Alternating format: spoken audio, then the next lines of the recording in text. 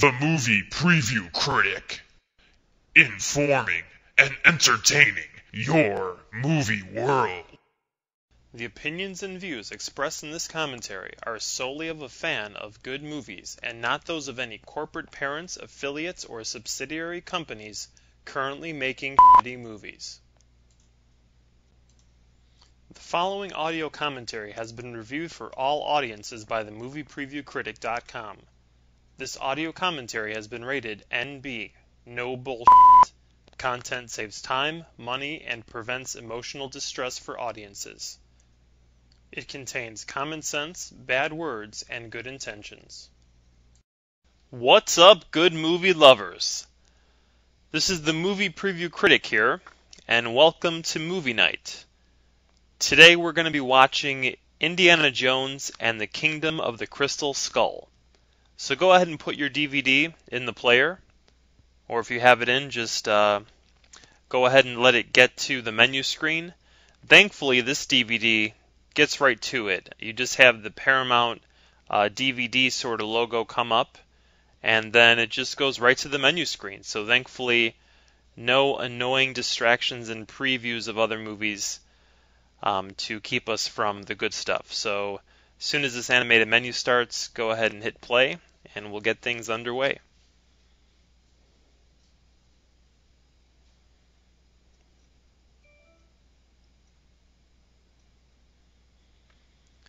So first time I saw this, I kind of thought Pixar right away.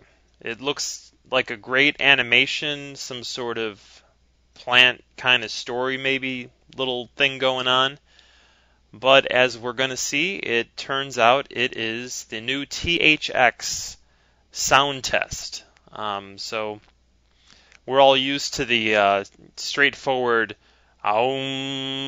but this is a little more creative, a little more in depth and detailed. You kind of wonder where it's going until, boom, right here it pulls out and we have that familiar sound. THX quality stereo surround sound. Up next, we find out that Crystal Skull is rated PG 13. That's a newer rating over the last 20 years or so. Back almost 30 years ago when Raiders came out, it had a PG rating because there was no middle ground between PG and R. So when you look at Raiders, it definitely has more blood and more violence. Um, so don't let that lighter rating be deceptive. And then the Lucasfilm logo comes up. I know for myself, every time I see that, I think Star Wars. So they've done a great job of branding that and marketing that. Next up, the Paramount logo with the mountain, and it's traditional for all Indiana Jones films to transition from the mountain of Paramount into some kind of mountain within the story. Here we have a little dirt hill created by a Caddyshack gopher,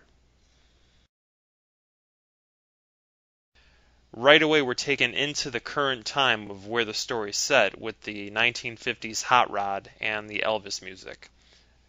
This story takes place in 1957, so that's 19 years after The Last Crusade, which took place in 1938, before the outbreak of World War II, and before the world was basically split up into East and West, into democracy and capitalism versus communism. Now, I don't know about you, but watching this in the theater, the first thing on my mind was okay, where is Indy? How long is it going to take for him to get on screen? After all, he's really the reason we're all here. In the theater, I was watching this thinking, okay, what does this have to do with anything? In a lot of ways, this might just be George Lucas kind of calling back to the film which really kind of broke open his career, American Graffiti, which was all about cruising cars and listening to 50s music. In the end, I guess it does bother me a little bit that it takes about five minutes for Indiana Jones to make an appearance. If you look at Raiders of the Lost Ark and The Last Crusade, he's in there pretty much from shot number one. In Temple of Doom, you have the opening on a little musical number, but as soon as that's over, the action starts and he's there in a lot of ways, the Indiana Jones movies have the same opening structure as the James Bond films, where you see the hero or the main character at the end of a previous mission. In the James Bond films, he's always able to complete his objective, and then the credits hit, and after that, the new story starts, the story that we're going to watch. What's great about the Indiana Jones films is that usually he doesn't get what he needs. In Raiders, Belloq one ups him, and in Last Crusade, the guy who inspires his Indiana Jones look gets the cross back. So, what's great about Indiana Jones is he's not a perfect, unbeatable superhero. He's just an everyday, ordinary kind of guy that likes to go adventuring, and he gets his ass kicked a lot. He's always bruised and bloody.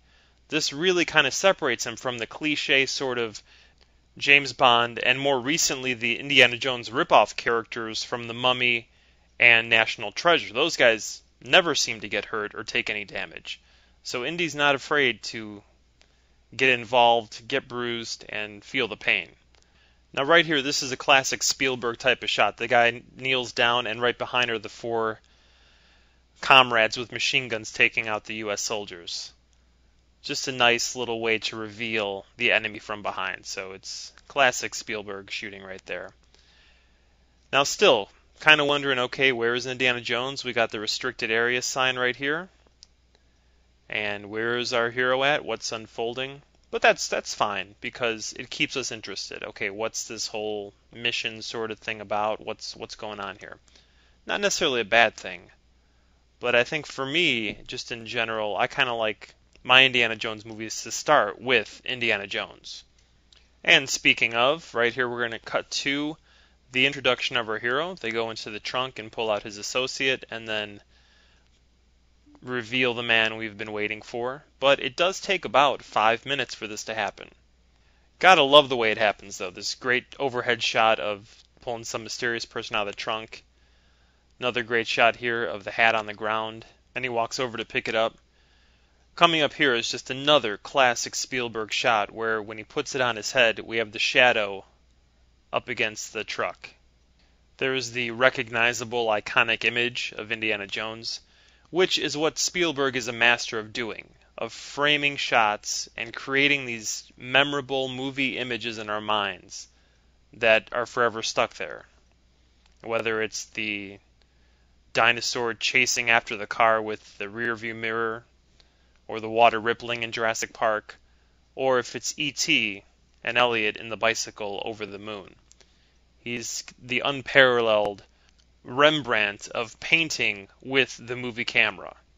However, a director as great as Spielberg can't change the material that's on the page, so his name isn't on the screenplay, and there are definitely some issues with the structure. So we'll get into those kind of as we go through the film, but right here we have an important moment because we're going to be introduced to Indiana Jones's main opposition, which will be constantly fighting him throughout the rest of the movie. This guy is more of a uh, minion, if you will. The main bad guy is going to be Irina Spalko, played by Cate Blanchett. But I want to point out one quick thing right here. Look at the background and just this scene. It seems a little bit too hyper real. This scene here where Cate Blanchett's getting out of the car and we have the sky in the background it really looks like they're on a set or something with a green screen, blue screen. Very reminiscent of like a 300, where it just feels a little too hyper real. And that's something that just doesn't fit into the whole Indiana Jones sensibility. The first three movies were all made in the 80s, before CGI effects changed the way movies were made forever. If you really look at it, it was in 1988 with Willow and The Abyss um, each of those movies kind of had little segments where CGI was used. In Willow, it was changing um, a person into a rodent or an animal, and then back into a person. And then in the Abyss, there was kind of the liquid water creatures. Um, so James Cameron and George Lucas really started that, and then Cameron really perfected it with 1991's Terminator 2 with the T1000, which of course we all remember, and know, and love. So from that point on, movies were never the same, especially after Jurassic Park really upped the ante in terms of CGI.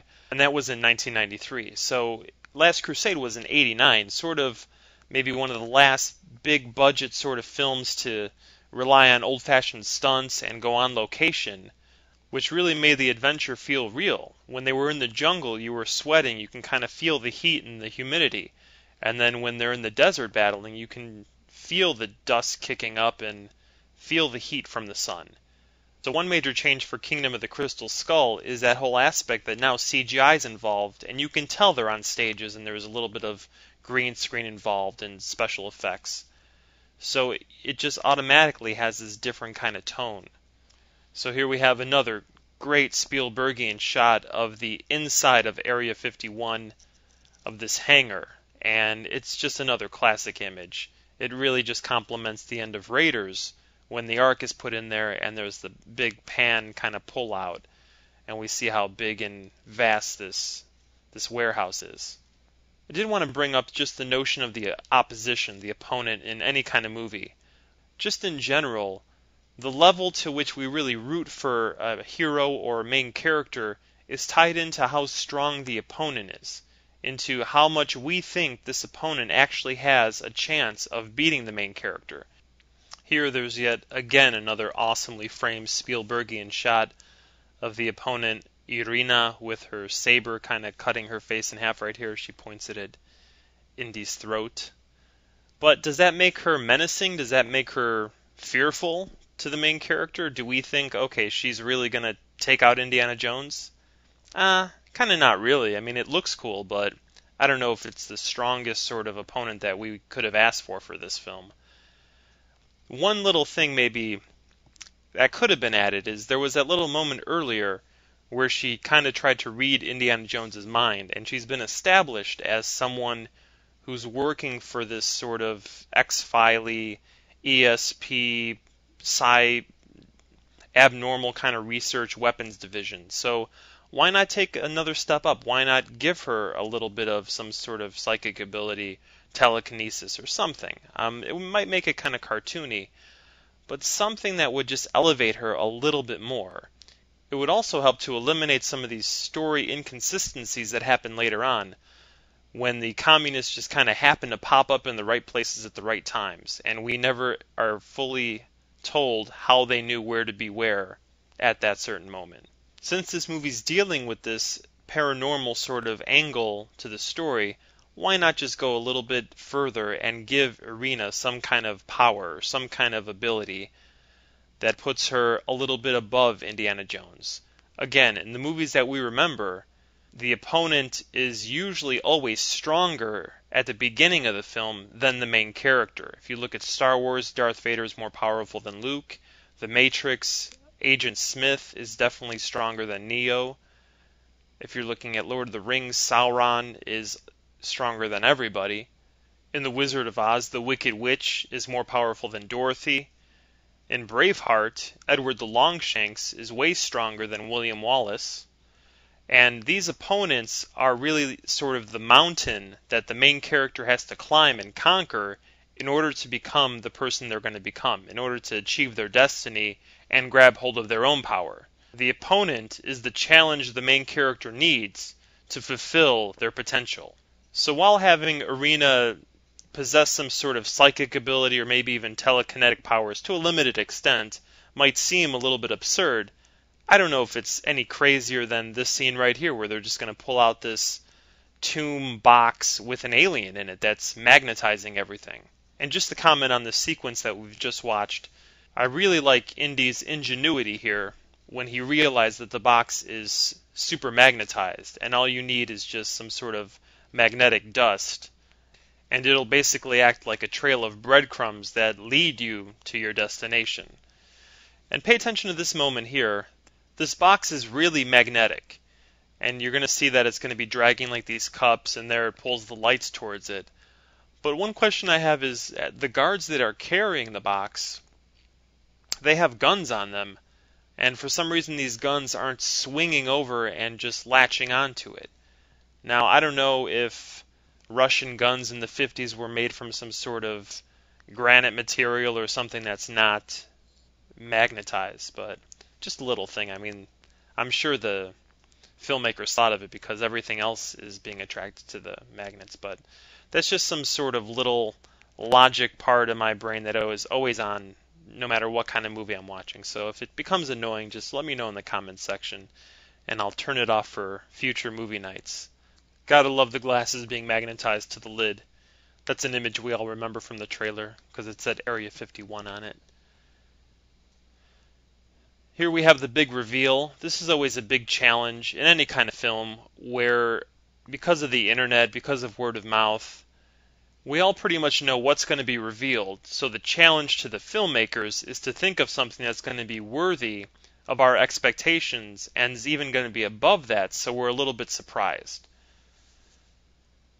I like kind of this rubber sort of cocoon that the alien's in, and cutting it open and the smoke coming out is just a classic sort of image. It's a little bit cliche even, but it's unique enough that it, it strives beyond what we've already seen.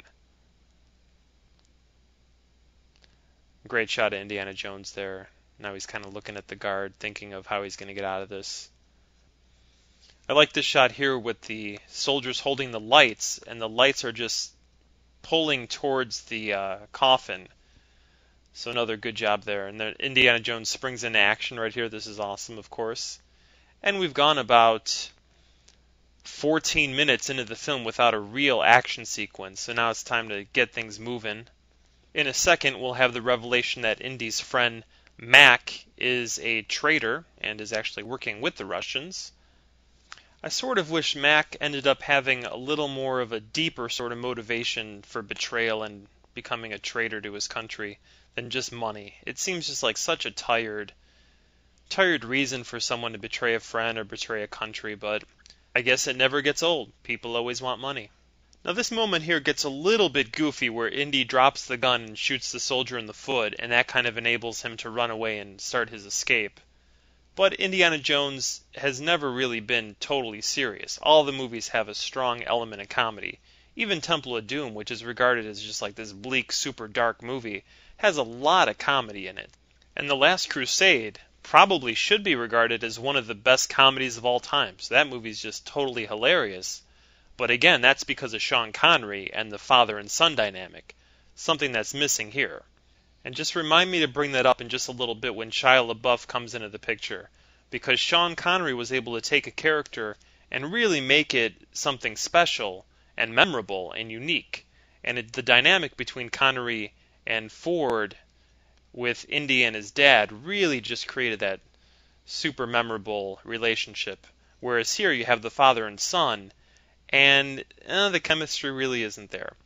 Here we just have this action sequence. It's pretty amazing. And Indy just swung back into a truck, breaking the metal frame and the glass. Now, again, you kind of have to suspend your disbelief right there because as strong as he is, that's going to hurt, and probably he wouldn't end up breaking it.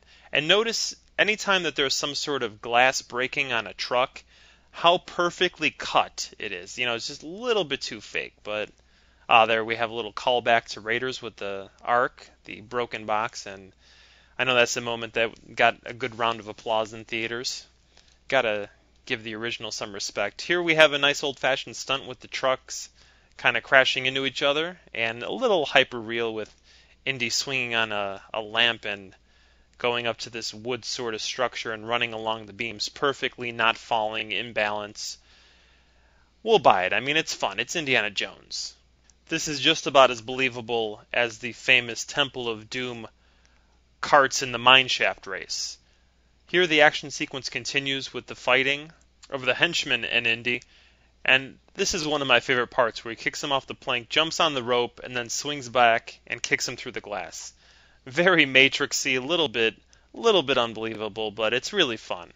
And it sets off the test rocket that they're going to have a ride on in just a second, so it's all for a good reason.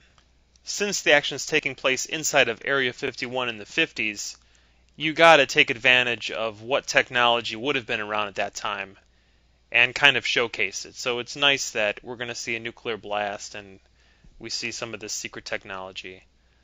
And here's Indiana Jones getting his ass kicked again. He always is always getting beat up.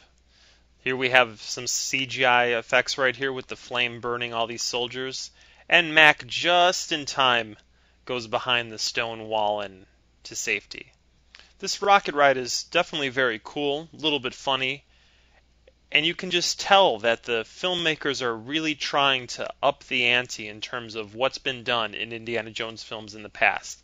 Again, they have to compete with the last 19 years of movies that have tried to take over the place of Indiana Jones. So you have all the Mummy movies, you have the National Treasure films, even the Da Vinci Code, which is another example of a main character you don't really remember the name of, where the objective is more memorable than the people in it. So you have all these adventure movies from the past 19 years that have tried to one up the first three Indiana Jones films, and now Indiana Jones comes back and he has to now one up all of those films. Or at least that's what the filmmakers think they have to do. In reality, we want Indiana Jones instead of all these wannabes. What these other films have failed to do is give us a replacement for Indy. They've won up the opponents and the set pieces and the special effects. Those are all amazing. But they haven't connected us to an adventurer the same way that these Indy movies have done. And unfortunately, it seems like Crystal Skull has gotten wrapped up into that recent philosophy of just making it bigger and bigger and bigger. So by the end, there's this fantastic sort of alien ship, interdimensional special effects extravaganza, which is great. I mean, it's totally, totally eye popping and jaw dropping. But after everything calms down, we realize we haven't really connected with Indy the same way we did in the previous three films. Okay, let's take a moment to focus on what's going on in the movie right now because we have the infamous nuke the fridge scene coming up in just a few moments here. This is really great. I like this whole idea about Indy finding sort of a nuclear test town. We've all seen the old black and white footage of these towns being demolished by a nuclear blast. So it's really cool to see it in color and have, of all people, Indiana Jones roaming through it. The term nuke the fridge has become synonymous with jump the shark. Jump the shark tends to exclusively be only for TV shows, so nuke the fridge now refers to movie franchises and the moment they take a nosedive in terms of quality. And this nuking of the fridge is definitely the moment when disbelief and ridiculousness enter the Indiana Jones franchise. In the first three movies, there was always a sense of silliness, and it kind of increased with each installment, really culminating in The Last Crusade. So while The Last Crusade was definitely the funniest of the first three movies and the silliest, it was still believable. Here, with this nuke the fridge moment, it's just an unfortunate sign of what's yet to come. And we'll talk about it later, but just to bring it up now, that scene where Mutt Williams is swinging with monkeys in the vines in the jungle, reminiscent of Tarzan, it's just you got to roll your eyes and just say, what happened? You know, what were they thinking? So here Indy's going to open the fridge, and there's going to be a close up of the note that says the fridge is lined with lead, as if that's going to be enough for us to believe that he could survive it. Now, there's not even a latch or anything on that fridge, so how does it stay closed the whole time? Is he just kind of holding it? If he's holding it shut, he definitely has a lot of strength because we're going to see the fridge flying in midair in just a couple seconds. It's going to pass up the car with the Russian soldiers as they get nuked, and then the fridge is going to constantly hit the ground. And let's see if it opens. Nope, nope. Nope, it's probably traveling like a couple hundred miles an hour, and it's not opening yet. Nope, nope, nope. And it comes to a stop, and just like five seconds later, the door opens. Okay, let's not get into how hot the thing would be after going through a nuclear blast. And that's kind of a little bit too perfectly cute where the gopher is at the mountain. And then this here. Now, again, the image looks really cool. Indiana Jones standing with a mushroom cloud in the distance. This is totally a great shot, but it does not belong in this movie. It really makes you roll your eyes, and from that moment on, you're just like, okay, what is going to be going on the rest of this movie? We're about 22 minutes into it, and there's about an hour and 40 to go, so you kind of have to be worried. With this interrogation scene coming up, let's talk about why this movie really doesn't feel like a solid part of the trilogy. It really does deal with Indiana Jones as a character. in the first three films, he's always really excited and really involved with the objective he's going after. And if anyone's confronting him or challenging him, he just answers back with passion and determination. Here, when these FBI agents are interrogating him, he doesn't answer them with that usual Indy fire. Now, it's going to be revealed that he was actually at Roswell in 1947 when the reported UFO crash happened. Why isn't this affecting his character in any kind of way? This should really tie into the backstory of Indy. You know, what's happened over the last 19 years since we last saw him? Maybe he believed a little bit more in religion after Raiders of the Lost Ark and his experience there, and especially with his experience with the Holy Grail. But after seeing aliens, maybe it kind of shook him up a little bit. Maybe he started to doubt or think he was a little bit crazy, and then the government wouldn't tell him all this information that he wanted to know. Maybe he tried to go on some missions on his own and find out the truth, but they led to nothing. After that, he decided to put it out of his mind, and now this is bringing him back into the fold. He was just in the warehouse with the Russians after they opened up the little casing with the alien in it, so it might have brought up all these feelings and thoughts and beliefs that he's been repressing for the last 10 years. What's missing here for Indiana Jones is the fire in his eye. In those other movies, he really wanted to go on the missions. He really felt passionate about it. Here, he's kind of just a disgruntled, sort of old man who doesn't care or just doesn't want to be bothered. Even his father in The Last Crusade, when he talked about the Grail, when he talked about going on the journey and finding it, he was really alive, really energetic. You know, we knew that this meant something to him it would have been great if this mission, if this whole story would have affected Indiana Jones on that emotional thematic level. But it didn't, and that's really the core of what's missing in this movie. In a second, the action is going to switch over to the university, and Indy's going to be back in a familiar place teaching. What's also missing here are three major characters from the previous films. First, we have, of course, Denholm Elliott, who played Marcus in the other films, he unfortunately, after The Last Crusade, died in the early 90s of complications due to AIDS. So it's definitely unfortunate and tragic and sad. But the two other actors that are missing, one would be Sean Connery as Indiana Jones's father. He's alive and well, but in retirement. And I guess he's enjoying that because he's in his 70s and they made the call for Indy 4 and he turned it down. So if Sean Connery won't go back to movies to make Indy 4, you can pretty much guarantee he won't be making any other movies, which I guess we can be kind of happy that he won't be making The Rock Part 2. I'm only half joking. For all you The Rock fans out there, I really do enjoy that movie. It's a fun little action summer film. But the other major character that we all know and love from the other Indiana Jones movies is Sallah, played by John Rhys-Davies, who is definitely alive and well. So you got to kind of wonder why he wasn't brought back at least for a cameo appearance. It could have been very fun for the audience just to see him in a scene here or there. Or just acknowledge maybe he's also dead. It has been 19 years since the last adventure, so maybe three of the major characters have met their demise. This might be a good moment to bring up the cinematography. Uh, right now, it's Janusz Kaminski working behind the camera, someone that's been with Spielberg since Schindler's List in 1993. But the man responsible for the first three Indiana Jones movies is Douglas Slocombe, with a B-E at the end, so I hope I'm pronouncing that last name right. He's actually still alive, but into his 90s, which means he was in his 70s when he made Last Crusade. He's most famous for kind of having this movie urban legend about him, where, as the story goes, he didn't use a light meter during the filming of Raiders of the Lost Ark. So, a light meter for all you non filmmakers out there is just a device that just measures the light in any scene or setting.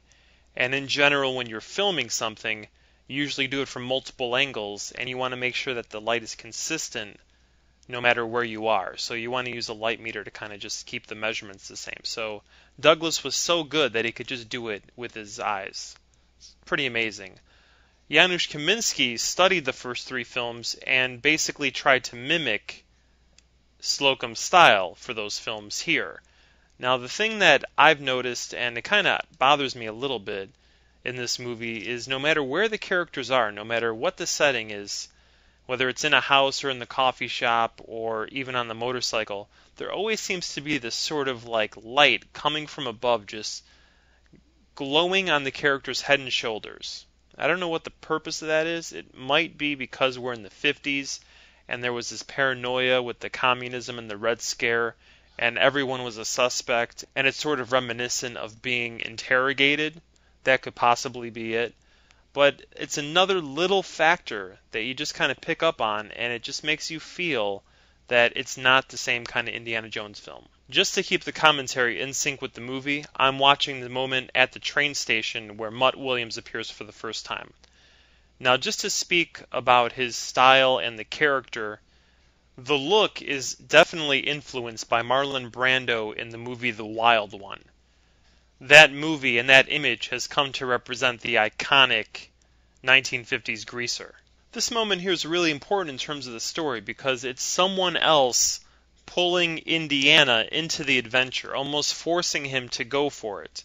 Where before, if something like this FBI interrogation had happened to Indiana, he would be the one that would want to try to find something out, would want to clear his name or discover the truth about it.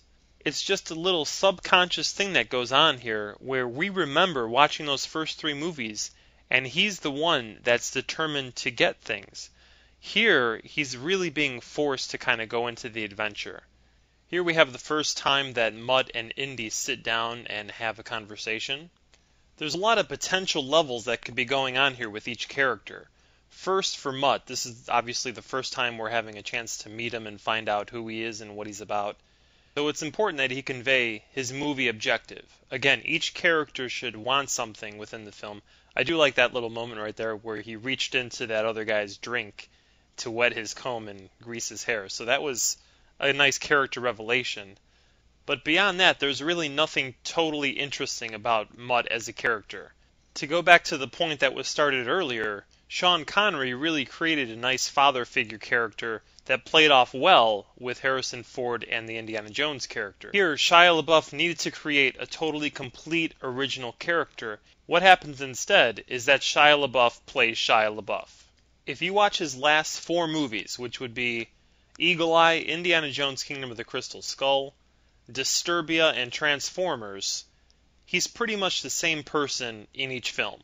And that means that at the moment, Shia LaBeouf is a star and not an actor. The difference being a star is just a personality, a celebrity that we all know and pretty much like, and we want to see them and their established public persona in movies, or whatever form of entertainment they're used for. If you look at the career of a star, the characters they play over the course of many movies tend to just be themselves. If you look at an actor's career, each movie they're in is really an exploration of a unique individual. They're getting under the skin of a persona and totally disappearing behind that. Another example of a star would be Nicolas Cage. Look at his last three films, and it's pretty much Nicolas Cage as Ghost Rider, or as Mr. Next, or as the Wicker Man. A great example of an actor would be Gary Oldman. He was in The Dark Knight playing Commissioner Gordon, but if you look at his films over the course of his career, every single one is an example of Gary Oldman almost becoming possessed by some sort of new personality. Whether he's playing Sid Vicious in Sid and Nancy, or he's playing Oswald in JFK, and again, most recently, Commissioner Gordon in The Dark Knight all three characters are really distinctive and have unique traits about them. When you look at Shia LaBeouf here, and in his previous films, he's pretty much doing the same thing in every movie, except he's dressed differently and there's a different environment around him. The biggest giveaway of this lack of getting into a new, unique character is that his characters always say, no, no, no, no, no, no, no, no, no, no, no, no, no, no, no, no, like a million times each character, each personality is basically like a music note. They should all sound different. So while the character of Mutt dresses differently and makes Shia LaBeouf look a little bit unique, he's basically the same sort of person. Making Shia, in the end, a star and not an actor. So if Shia wants to do some acting, he should probably do some kind of independent film that challenges his range. In this hamburger joint scene, there's been a couple key moments that have just passed by. Indy did not recognize the name of Marion. Which in terms of the story and the character development is really a missed opportunity because again if you want to develop indiana jones's character his emotions and his theme he should be someone who is grappling with getting older not having a family never having been married and maybe he does think about these past loves of his life so why not have a nice close-up of his emotional reaction when he hears the name marion Maybe he wishes that things had gone differently, that he was a little bit wiser back then and hadn't made the mistakes that have led him to a lonely life at this moment. The second key element is that Indy talks about the legend of the crystal skull, and at the same time learns that his old mentor and friend, Ox, has gone missing. Add to this the death of Marcus and his father, and that Indy was in Roswell in 1947, and this is all coming back at this moment, and the emotional insides of Indiana Jones should be bubbling up like a volcano ready to explode. It's been about 10 minutes since the last action sequence ended, so here we go with another one the hamburger joint, Greasers versus Archie's Preppies fight. And it was started because the Russian agent showed up wanting the letter that Mutt has. Just to ask a question regarding the story, why did Irina want to kill Indy at the Area 51 warehouse when she said, say your last goodbye? But now it seems like it was part of the plan to let Indy go so that Mutt would show up with this letter that they needed. Seems more like the hands of the screenwriters are controlling the characters' motivations than logical event and decision conflict. Also, the whole stealing of the alien body from Area 51 never comes back into play. So, what was the point of all that regarding the story structure? First, you get Mac revealed as a traitor, then the Russians and Irina are introduced as the opposition, but none of it seems to create the decision for Mutt to take a note and visit Indiana. That seems like it's an off screen thing that happens somewhere else. Basically, it seems like the warehouse sequence was an excuse to see where the Ark was hidden from Raiders of the Lost Ark, and then have some pretty great fight sequences and chases, ending with a nuclear explosion. And speaking of a great chase, here we're in the middle of the motorcycle and car sequence, which is really a callback to the Last Crusade when you have Indiana and his father on the motorcycle with the side buggy. This chase here is pretty ambitious. As you can see, it's pretty much all real stunt work. It doesn't seem like there's any CGI taking place. But there's a difference between this sequence and the one from Crusade. The one in Crusade seems to be a little more fun. And the reason for that is Sean Connery. His character, the character of the father, is really alive and he has this unique kind of perspective and he's doing these goofy things with the cane and hitting the German soldier, and even backseat driving, or in that case, side seat driving. Here, there's no interaction between Indiana and Mutt Williams. It just feels like you're watching a car chase a motorcycle. What would make it stand out and be unique and a little more engaging is if the characters were battling with each other as this intense chase is going on. Sort of in Last Crusade, Indy and his dad were almost bickering with each other it could be said that while those characters had a history, it's father and son, so the writers and the filmmakers and the actors kind of worked on a backstory for each of them, and when they meet, they have this 40 year history between them. There's this subconscious, subtextual dynamic that the son is always trying to prove himself to the father. So while Mutt and Indy have just met, there's no excuse as to why their characters shouldn't be a little more engaged with each other in this sequence. One really easy suggestion would be just mimic the same sort of situation from Crusade, where now Ford is in the Connery role and Shia is in the Ford role, so that you have Indy as kind of the older man who's maybe a little bit scared of the reckless driving and making all these backseat suggestions, and now you have Mutt who's taking charge. Which would actually fit nicely because reportedly Lucas wants to continue the Indiana Jones story but using Shia as the new adventurer and retiring Ford. We'll talk about that a little bit later, but right now we're inside of the library and they're driving on the motorcycle, and we're going to have this slide along the floor under the tables, and this just seems a little bit too extreme. Seems like they had the wires pulling them, and then they were later taken out in post production. And here we have a nice kind of comedic button to the end of this scene where Indiana's student is sitting on the chair asking him a question, kind of oblivious to the action and ridiculousness of having a motorcycle in the library. So while this has been a really engaging and fun five minute or so action sequence, you don't really feel anything's been added between the relationship of Mutt and Indy, or on a thematic emotion level for either of the characters. And that failure is really created in the hamburger joint, where their conversation about Marion and Ox and the crystal skull really doesn't unveil or dig deep into each of the characters, revealing their struggles or their secret desires or their objectives for the film and their inner fears. Here's another example where the cinematography has that lighting from above where there's the light on the shoulders and on the heads. Again, it could represent the paranoia interrogation of the 50s. It might kind of also allude to the an alien ship. After all, Close Encounters is a Spielberg film, and that's very famous for kind of having the light come from above, especially in that scene where Richard Dreyfuss is in his truck and the light just surrounds it. So maybe there's a little bit of a hinting at that with the cinematography and the entire lighting scheme. Here, Indiana seems to come back to life as he decodes Ox's secret message. He maybe accomplishes the translation a little quickly, but we'll accept it. After all, it's Indy, he's a professor, he's super smart. The Mutt Williams character in the scene is pretty quiet and really has nothing to do, and again, that's from a lack of depth to the character, and that probably goes back to the screenwriting and just the preparation for creating a complete character. The most in depth characters are kind of like icebergs, where as we're watching them on the screen, we're just seeing the tip that's above the water, and below the water there's just this huge landmass's depth of almost infinite memories and desires and inner conflicts. So far here, nobody really has anything like that going on. In any given scene, there's really two threads that should be constantly moving forward. On the one hand, you have the objective, which ties up with the opponent, the battle for whatever you're going after. And on the second level, you have the theme, which deals with the characters and their emotions, and how the pursuit of the objective and fighting with an opponent changes them and challenges them. This should definitely be applied to Mutt's character. He's a young person trying to find his place in the world, and it seems like this adventure would be the perfect opportunity for him to discover what his destiny is. Being the son of Indiana Jones, it makes sense that down the line he would take over for his father. So this should be the journey of him coming to terms with that and discovering that he does have the ability to be an adventurer. Especially if George Lucas wants Shia LaBeouf to take over for Harrison Ford, it seems like that change should have happened in this movie.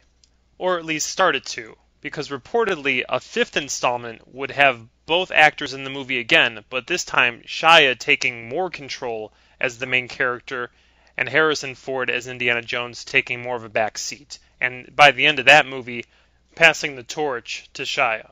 Here's another opportunity for the characters to get to know each other and for us to get to know them as they walk through this marketplace talking about their various histories. Another important element of any kind of story structure is the need for characters to tell us how they're feeling about things. In 99% of the movies, the characters never talk to us, the audience, directly, unless it's something like Ferris Bueller's Day Off, where Ferris is always turning to the camera and telling us what he thinks about things. Most of the time, the way we learn about any character is the person they talk to about their feelings. This is known as a window character or a reflection character, and this is taken from the Greeks who discovered it first.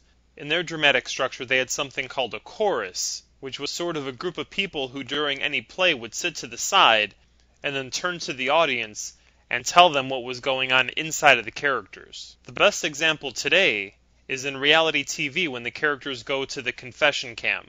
Whatever the reality show, there are always moments when the characters by themselves are talking to the camera and thereby talking to us, and the result is a better understanding of these characters, and we're either rooting for or against them depending on their personas and how they come across during these confession cam moments. When it comes to the movies, we want to know the most about the main character. Therefore, we need to know who their confession cam character is, or who their window, who their reflective character is. If you look at The Matrix, Neo has Morpheus. In Star Wars, Luke has Obi Wan. In The Wizard of Oz, Dorothy has three of these reflective characters Scarecrow, Tin Man, and Lion. One of my favorite confession cam slash window characters of all time is in Castaway, when Tom Hanks speaks to the inanimate object, the volleyball known as Wilson. And in one of my favorite movies, Die Hard, John McClane, in the first part, talks to Al Powell, the policeman. This is a basic need in all forms of storytelling. So in the movies, we need to have that character that the main character speaks to and thereby speaks to us through them. The reflective or the window or the confession cam character is our representative. It's the audience that the main character speaks to, and that's how we bond with them. Again, if you go back and look at your favorite films, they're probably on your top 10 list because the main character goes through some kind of a journey and they spend a good amount of time talking to another character about how they feel about this journey that they're on. What's disappointing here is that neither Indiana nor Mutt are on a journey of personal growth. It's a fun adventure, just kind of this outer journey of searching for the Crystal Skull and finding this lost city, which is okay. Some movies are just these thrill rides where you don't really connect with the main characters, but you kind of just sit beside them and go on this roller coaster of twists and turns and obstacles one after another. And that's what Kingdom of the Crystal Skull turns out to be a collection of amazing action set pieces that unfortunately don't affect the characters and transform them in any kind of way. This is the responsibility of the filmmakers, and in this case, the ball is dropped. Just as an example, remember in the original Star Wars, there's a couple moments for Luke where the action sequences actually help him to grow as a person. The first happens when the TIE fighters are attacking the Millennium Falcon, and everyone scrambles to take a seat by the gun turrets. It's the same sequence where Han Solo turns to Luke and says, Great kid, don't get cocky. During that action sequence, Luke's really gained some confidence. You can see him growing, he's on a journey. So, in the best action movies, there's that dual level, where on the one hand the character's moving towards an objective, but on the other hand they're moving towards this thematic journey. And this scene in the cell really reminds me of one of my favorite movies, Dark City. It's really underrated but there's also this kind of moment where the main character discovers a room with all these carvings and drawings in the walls revealing a secret about the the main mystery. And also Indiana climbing up here on the stairs and kind of looking down at the floor is really reminiscent of Last Crusade when he's in the library and he climbs up to the balcony level and looks down and sees the symbol. So this jail cell scene works just fine, but if you've seen a lot of movies, you kind of start recognizing some patterns. But like the saying goes, it's all been done before. The trick is just dressing it up so it looks a little bit different and seems new. So just so we stay in sync, right now I'm watching Mutt climbing up the road to meet Indy at this temple during the night, where they're just about to be attacked by the dudes with the mask, by the like the parkour kicking jumping guys. This whole sequence is another example of just the look that doesn't feel like the first three movies. Obviously, those movies had some scenes that were filmed on sound stages, but for some reason here, all the soundstage stuff just seems a little bit too obvious or a little hyper real, and it just doesn't feel like an authentic environment. I do want to mention something here. We see that guy crawling on the tree. Then there's the other guy who was like in the ditch a little bit earlier, and this guy just jumped into the well right now. Do these booby trap guys just kind of hang there and wait for people to show up? this job really needs a lot of patience because how often do people come looking to uh, visit these catacombs? I'd love to see a scene where these guys are like on the coffee break just kind of sitting around. There's another moment like this coming up, so I'll mention that in about a half hour when we get there. Just to finish the Star Wars thought from a couple of minutes ago, the second example is when Luke on his own has to use the Force to destroy the Death Star It works on two great levels because here we're in this amazing environment with this metallic moon that can destroy planets, and there's TIE fighters and X Wings everywhere. And while all that's going on, there's this inner story of Luke learning to trust himself, learning to use his inner power, as Obi Wan puts it, using the Force, and not trusting technology, but trusting in himself to get the job done. It's a structure that follows Joseph Campbell's A Hero with a Thousand Faces, and even though that book is really a compilation of myths and cultural stories shared for over thousands of years, usually verbally and through writing, here we have it perfectly used in this modern medium of cinema. I really believe that if the inner journey of Luke had been taken away from the first Star Wars trilogy, it would not have stood the test of time. Fans would not be so passionate about it. And what's also great about that original trilogy is that Darth Vader also has an inner journey. Luke's journey is about growth, and Darth Vader's journey is about redemption. And that might be why the second Star Wars trilogy isn't as loved and highly regarded as that first trilogy. Because the character whose journey we're following is Darth Vader, and it's one towards self destruction, and it's one that we already know how it ends. It's more interesting to see his redemption than his downfall, even though the second trilogy has thousands of groundbreaking effects in it. So getting back here to Crystal Skull, we have Mutt and Indy in the temple, in the cave. And this is a good parallel to Luke in Empire Strikes Back, where he goes into the cave and faces Darth Vader. That's a very old kind of mythological archetype where you have to go into the cave and face your fears and face yourself. So here, if Mutt is on any kind of a journey, it would be a perfect time for him to be challenged, face himself, and take a step towards becoming the person he's going to be. But because neither of these characters are on any kind of inner journey, the outer forces aren't being presented to them so that they're forced to deal with these inner issues. Notice that just watching this is so easy. All they're doing is just pushing on this rock or pulling on this cord, and there's no sort of booby trap or anything that's really challenging them. This is kind of reminiscent of that moment in Temple of Doom where Short Round and Indy are in that room and the ceiling is collapsing with the spikes on it, and Willie has to pull the lever with all the insects crawling all over her. That scene is just a lot more fun. First, because there's a deadly threat to them, and second, because the characters are so alive. Short Round is hilarious, Willie's really annoying and fearful, and Indy's impatient. It just really works with the dynamic with those three characters.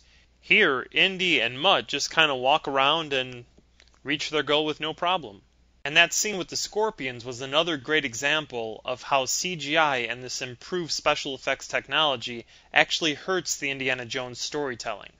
In that scene from Temple of Doom where Willie has to reach her hand through all the insects to pull the lever so that the ceiling with all the spikes reverses its direction, we in the audience know that all of those insects are real. Even though we're totally absorbed into the story at that moment, a part of us knows that this actress, Kate Capshaw, had to stand in a room where insects were crawling all over her feet, and she had to reach her hand into a little compartment covered in insects as well. And, of course, the great classic shot of that long centipede thing kind of crawling from her neck down her shirt. That just gives you pure terror. Not a terror that you're going to die, but just an uncomfortable, squirming feeling I bet that 99% of the people, the first time they saw Temple of Doom and that moment, scratched their arms and checked their feet just to make sure there weren't any bugs around. And that's way more memorable and, more importantly, more effective in getting a reaction from an audience than these CGI scorpions we just saw supposedly crawling all over Shia LaBeouf. And just to get back up to speed at the present moment of the movie, I'm watching the moment where Indy is balancing on that huge stone door closer passageway blocker thing. It's really similar to a set piece that was used a little more dramatically in one of the National Treasure movies. I can't remember if it's the first or second part, but it's basically Nicolas Cage and all of his friends fall down some hole in the floor and they land on this big stone tablet thing that's balanced on a piece of wood. And they basically figure out that one person has to go to the far end so that the other end will go up high enough and they can reach the ledge. That idea was used more effectively in National Treasure because there was a sense of danger. Even though we all know the main character isn't going to die at that moment, there's still that sense that, hey, someone's going to fall off and potentially die. Here, Indy and Mutt pass through that little device without any kind of hitch, without any kind of problem. And throughout this whole mini temple exploration scene, the only danger has been that parkour guy with the Halloween mask. What's fun about the first three Indiana Jones movies is that we know, of course, he's not going to die during any of the challenges early on, but it's always fun to see how he finds a way out of these situations. He brings his unique perspective and his character to a situation and thinks of something funny or something ingenious that helps him get out of there. This exploration scene is kind of similar to the one in Last Crusade, where Indy and Elsa Schneider go underground beneath the library to find the tomb of a Templar knight that has a clue written on his shield. You might remember that as they were making their way towards that tomb, there was this watery kind of part, and all these rats were kind of on the sides. And Elsa was freaked out, but it didn't faze Indy. So while finding the tomb was easy, getting out wasn't because there was that other guy who's like a protector of the Grail secret, and he actually tries to kill them. He knocks over the gas and sets it on fire, and there's that cool moment when Indy and Elsa have to jump beneath the water to escape it, and then they swim to safety and get in the boat, and then a really cool boat chase occurs. Unfortunately, that feeling of danger isn't here in the Crystal Skull. Mutt and Indy have had a pretty easy time and are about to discover the skull in just a couple seconds here. And let's mention a missed character development opportunity. Indy and Mutt just cut open this tomb of a famous Spanish explorer. And there's this great CGI shot of the explorer's face as almost pretty much a young man, and within seconds it deteriorates into this mummified corpse. What a really great parallel for the character of Indiana Jones. Just like this Spanish conquistador explored the ancient mysteries, Indiana Jones is the modern day explorer trying to find out the secrets of today's mysteries. Combine that with the recent death of his father and his friend Marcus, and Indiana Jones should be in a place where he's thinking about his own mortality. It could be really interesting because here's this guy, this adventurer, who's always exploring these caves and finding these tombs, and a lot of times he's finding the final resting place of his counterparts from decades past. You gotta wonder if somewhere within Indiana Jones he thinks that he might end up just like these people that he keeps finding. It's too bad that he never raises the question of how many of these adventures does he have left in him. And that would have been something to bring up in the hamburger joint when Mutt first asked Indy to go on this adventure. That was really the original missed opportunity to establish Indiana Jones's point of view in 1957.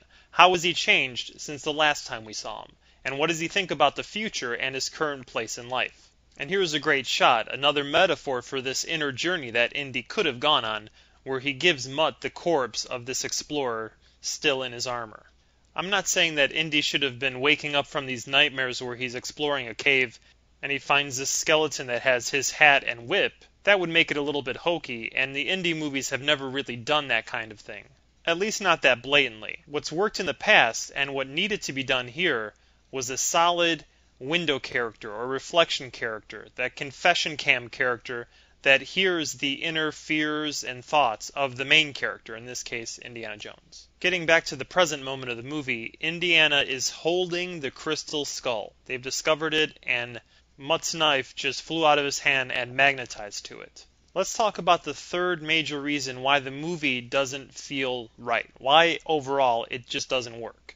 And just to review, the first reason is Indiana Jones. He doesn't have any kind of character depth, doesn't have any kind of inner journey, and that relates to the lack of a strong window character, reflection character, or confession cam character, as I've been calling it. Second reason is the opponent and the overall feeling that there's a lack of a threat from that opponent. The further notion that Irina as an opponent is just a weak, underdeveloped character that doesn't feel threatening and never really convinces us as an audience that she has the power and capabilities to defeat the main character. The third is the crystal skull and the lack of mythology. In Raiders of the Lost Ark, we understood that within the Ark was like the force and the power of God. And because there was a strong, well established opponent in the Nazis and Adolf Hitler, we knew that if they got their hands on this powerful artifact, the world would be in trouble. The Last Crusade also has a really well developed objective that everyone wants the Holy Grail.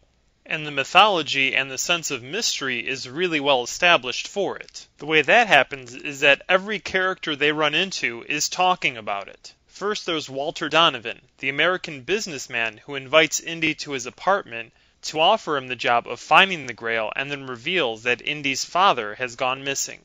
Then there's Elsa, Marcus, Indy's dad, and pretty much everyone else in the movie talking nonstop about the significance of the Holy Grail. After all this mystery talk, we learn that the Grail gives eternal life. And with the evil opponent of the Nazi party going after it, we know that if it falls into their hands, the world's really in trouble. In the Temple of Doom, the mythology centers around two factors First, the Shiva Lingam stones. The second is the continued existence of the Thuggee cult. So while the action sequences and the set pieces in Temple of Doom are really engaging, we never fully understand what it means if the Thuggees get the Lingam stones and they use them and what kind of threat they'll be to the modern world. That lack of providing a complete mythology and a picture of what the threat to the rest of the world would be is something that Temple of Doom has in common with Crystal Skull.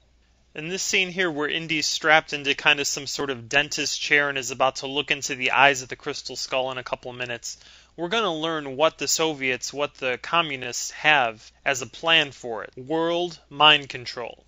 It's actually a pretty inventive plan, And I like the way that Irina tells Indy the way the Soviets plan to use it, where eventually people won't realize that the thoughts they're having aren't their own thoughts. The major problem is that we don't understand how that's going to work. How does the skull possess this power, and how would someone channel it and use it against everyone else?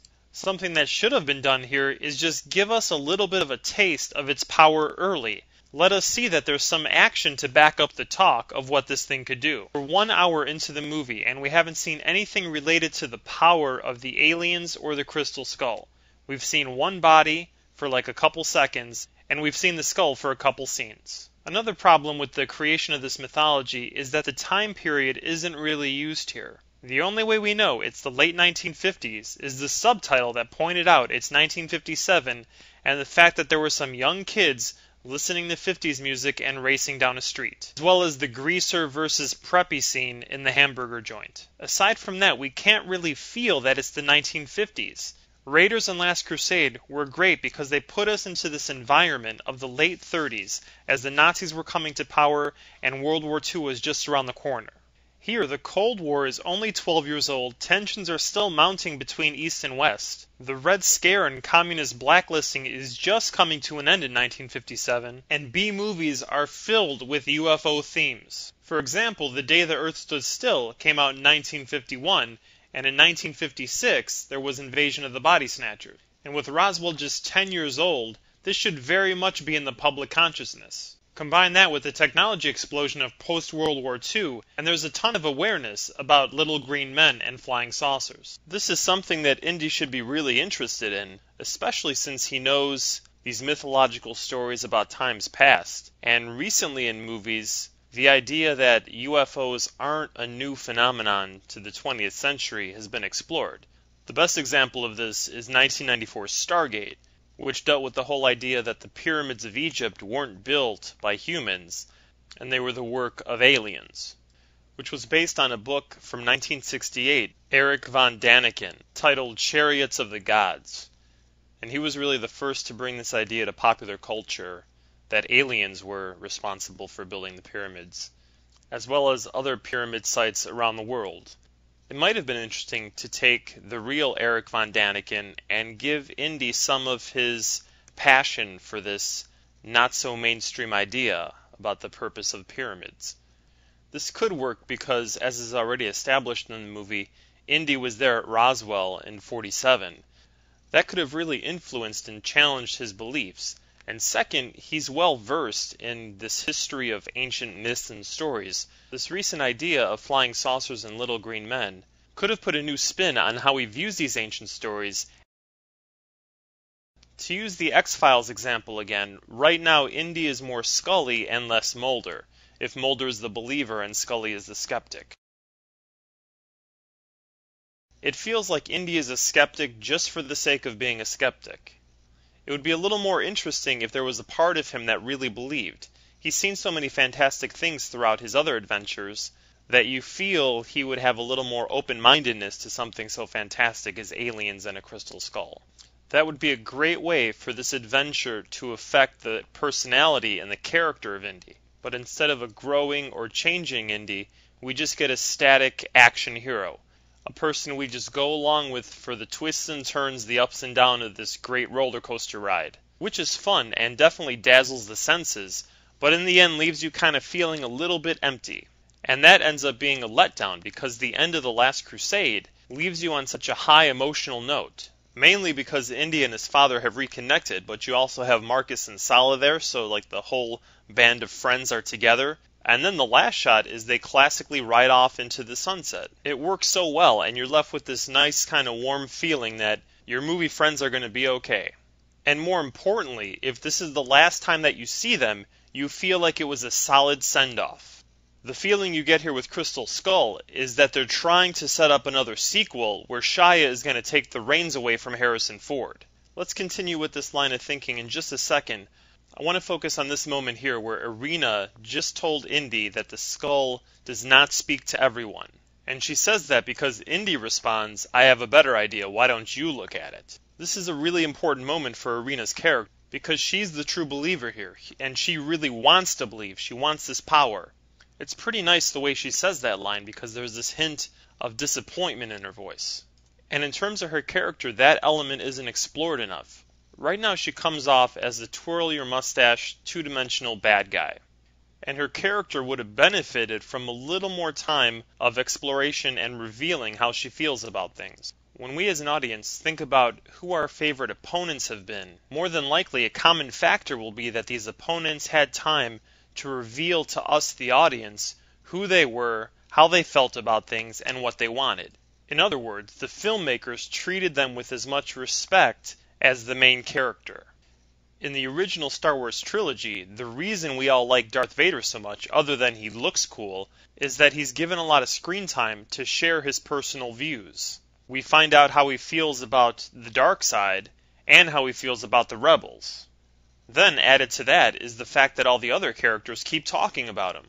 The result is that we as an audience learn a lot about this character from a lot of different angles, and we start to become sympathetic to a person that we're supposed to hate. When this happens, watching a movie becomes really fun, because on the one side you're rooting for the main character to defeat this opponent, and on the other, you kind of don't want to see this opponent get defeated. A lot of times you might be thinking, well, if they could only find a way to get along, they might actually end up becoming friends. Here, that thought never crosses our minds regarding Irina. And it's too bad because there was really an opportunity to develop her in a deeper sort of way.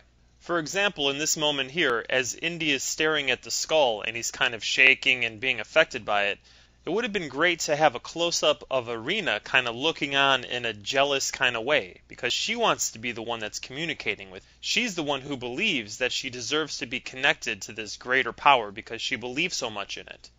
And the fact that Indy actually had a reaction to the skull should really drive her crazy. So those close ups of her reacting to his reaction are missing here. Instead, we get a ton of shots of this kind of side view where the tent has this shadow of Indy's head. We see that like four or five times, and it looks great, but it's not what's important in that moment. The emotional dynamic was between Indy, the skull, and Irina, and unfortunately, it wasn't totally captured. And here in this scene, instead of the characters being explored through their emotions and their beliefs and who they are, we get more props and wacky actions. What seems to define Irina is this saber, this sword, so she just pulls it out and threatens Shia with it. And Shia, who also kind of has his own little mini saber, the Switchblade, here pulls out the comb, and he's a greaser, so he combs his hair and he says he's ready. That definitely gets a laugh, but it just seems so absurd. And all of a sudden Irina says, Well, I must have chosen the wrong pressure point. You've combed your hair, and you're ready to die. I can't actually kill you and follow through with my threat. I'm going to have to pull some other trick out and her other trick is revealing Marion. When this movie was in production and about to come out, anyone who watched any kind of news channel or surfed the net for any news regarding Indy knew that Marion was going to be in the movie. So it ended up being more of a great idea instead of a big surprise. What's actually strange here is how fast Indiana recognizes her. Remember the conversation earlier where Mutt and Indy were in that coffee shop hamburger joint Mutt mentioned the name Marion, and Indy's response was, There's been a lot of Marions, kid. So it seems he's blocked her out of his memory, and along with that, probably his emotional reactions to her. More than likely, he's not going to forget what she looks like, but he might be slow to react to her. He might try to hide his feelings and how seeing her again is affecting him. So if this script were to have a rewrite, this scene here is directly related to the scene in that hamburger shop you'd have to go back to that scene with Indy and Mutt and insert some more emotional subtext as he's reacting to the name Marion. And if you want to rewrite it even more, that hamburger joint scene is related to the scene where Indy's talking to that new dean of students regarding the death of Marcus and his father. That seems to be the moment where you'd be able to work in a little bit of this theme subtext for Indy regarding him dealing with his own mortality as he's getting older, as he's losing more and more people around him, and being this adventurer who might end up dying on one of his chases and not leave anyone behind who will remember him or even care that he's gone. If all these elements regarding Indy's character were in place, the movie would have felt a little more deeper, and when we left it, it would have had a stronger impact on us than just going on a roller coaster ride and saying, well, that was fun, but I'm going to forget about it in about 20 minutes. In the most engaging movies, we, the audience, become the main character and we're in his or her shoes and we feel what they feel. The problem becomes if they're not feeling much because their emotions and their themes aren't really being explored, then we're not feeling much. Speaking of adventures and a roller coaster ride and a chase, for an example, let's look at that show The Amazing Race. It's been on a bunch of seasons and we pretty much know the format. A bunch of teams made up of two people have to race around the world and hit these checkpoints and, and get there first in order to win the prize. The reason we as an audience want to keep tuning in is not because of the locations. It's definitely cool that they get to go to all these exotic locales and experience interesting cultures. But the real reason we keep tuning in is because we get to know the contestants. We as an audience start bonding with them because we listen to their confession cam moments and we see how the adventure affects them as people. That's the real interest in any of these reality TV shows, whether it's Survivor or The Biggest Loser. Through these confession cam moments and being there to witness their tears and joy as they battle opponents and overcome obstacles, we take part in their triumphs and their failures. We feel like we know them and we root for them or against them. But most importantly, we're engaged not because of the things going on around them, but the things going on within them. So imagine if The Crystal Skull would have been a reality TV show adventure. If it was The Amazing Race, Battle for the Crystal Skull. I'm going to cast my vote and say that would have been more engaging than this because, based on the format of The Amazing Race and all reality shows, you can't get away from the idea of a confession camp. You have to get to know the people that are involved. Since a movie is only two hours, it's a little bit easier to ignore those elements focus on the special effects and the genre set pieces, and feel like a quality story has been delivered. When in the end, it feels like you went to dinner to have a nice, nutritious meal, but you ended up getting a super sweet, overwhelming dessert. And this moment that just happened where Mutt flipped over the table and started this escape for everyone feels a little bit forced. Up to that moment, Mutt is really passive, very quiet. We're not getting any close ups, we're not getting any reactions to what's going on through his eyes, so we don't know what's going on inside of him. And all of a sudden, he just decides to get this pissed off look on his face and take some action. From a screenwriting structural point of view, this is the right moment for this to happen because it's been a few minutes since the last action sequence. Unfortunately, it seems a little bit unmotivated to happen through the Mutt Williams character. And it leads to this quicksand scene, which is pretty cool but also pretty ridiculous. First, because it looks really, really fake. Again, the great thing about the other Indy movies is that they didn't feel like they were on a soundstage.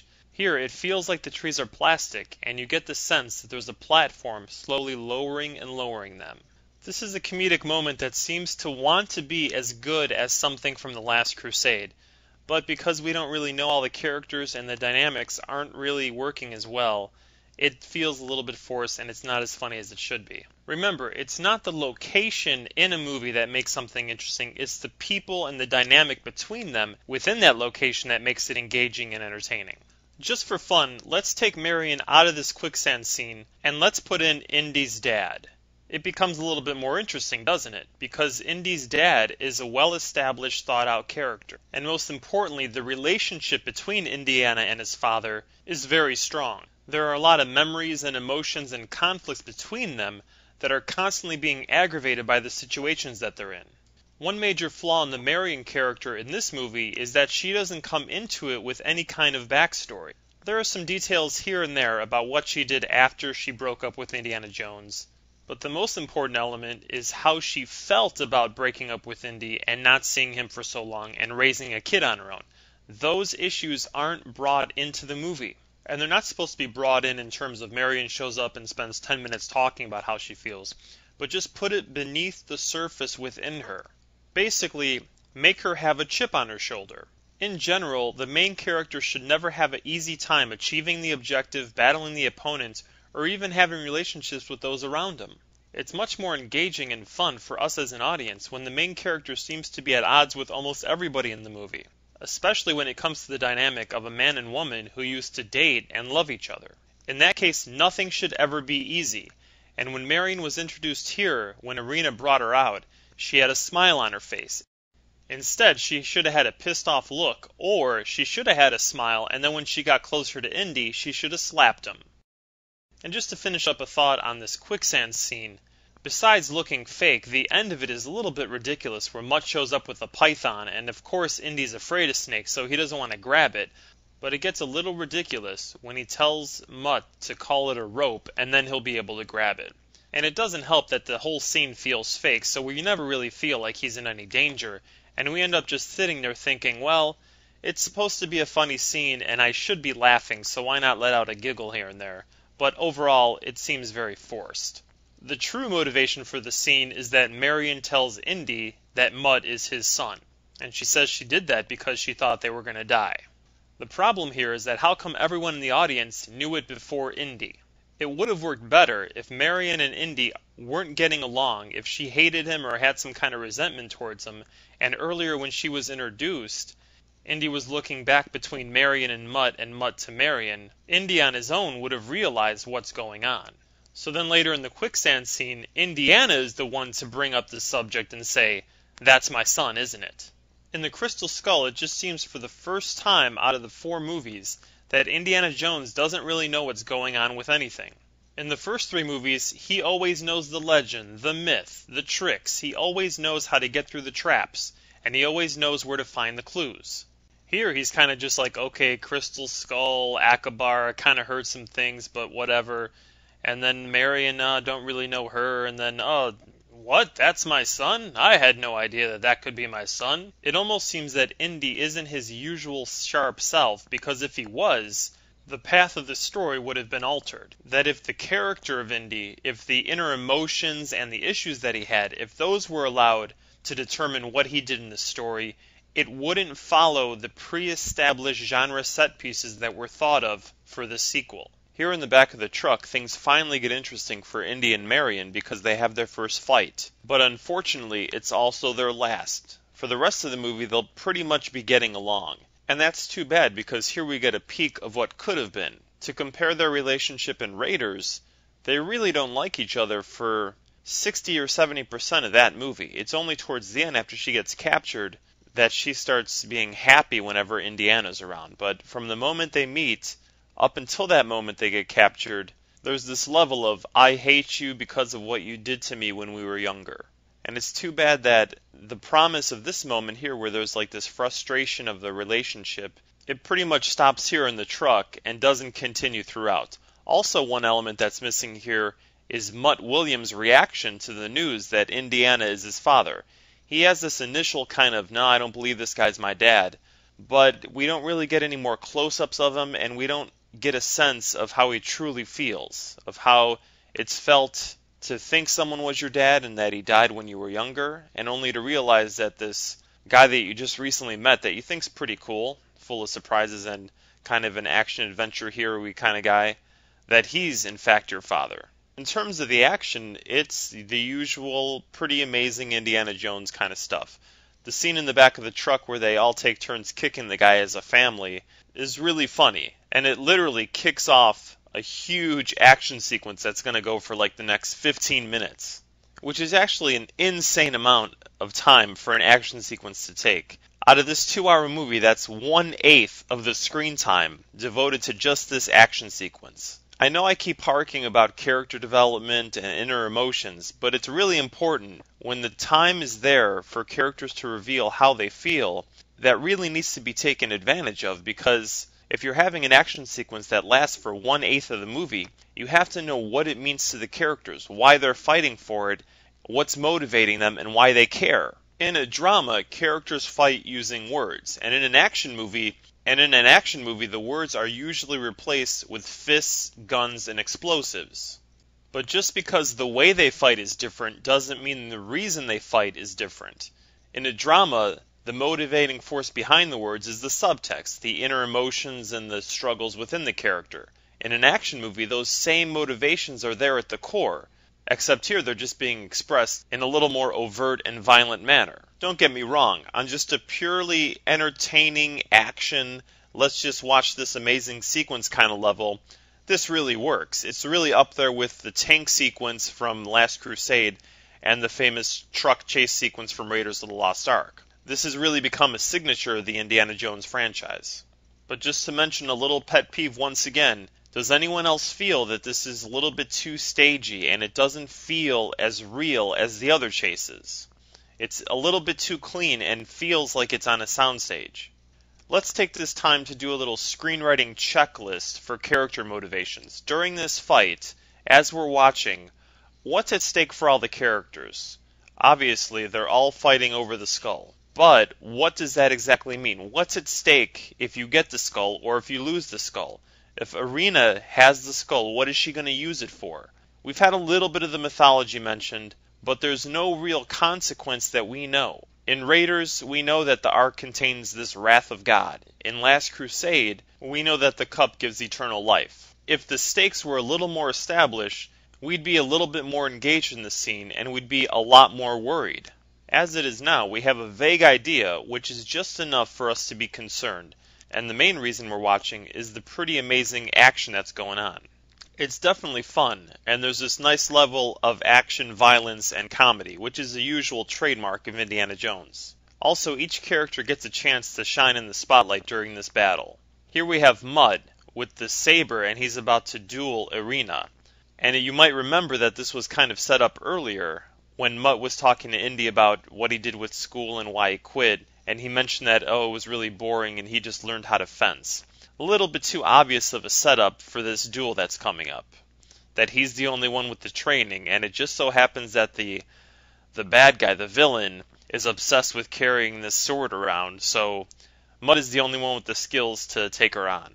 Meanwhile, Indy has Mac in a headlock, and Mac is trying to defect back to his side, saying that he's been a double agent all along. There is a bit of a problem with his motivation.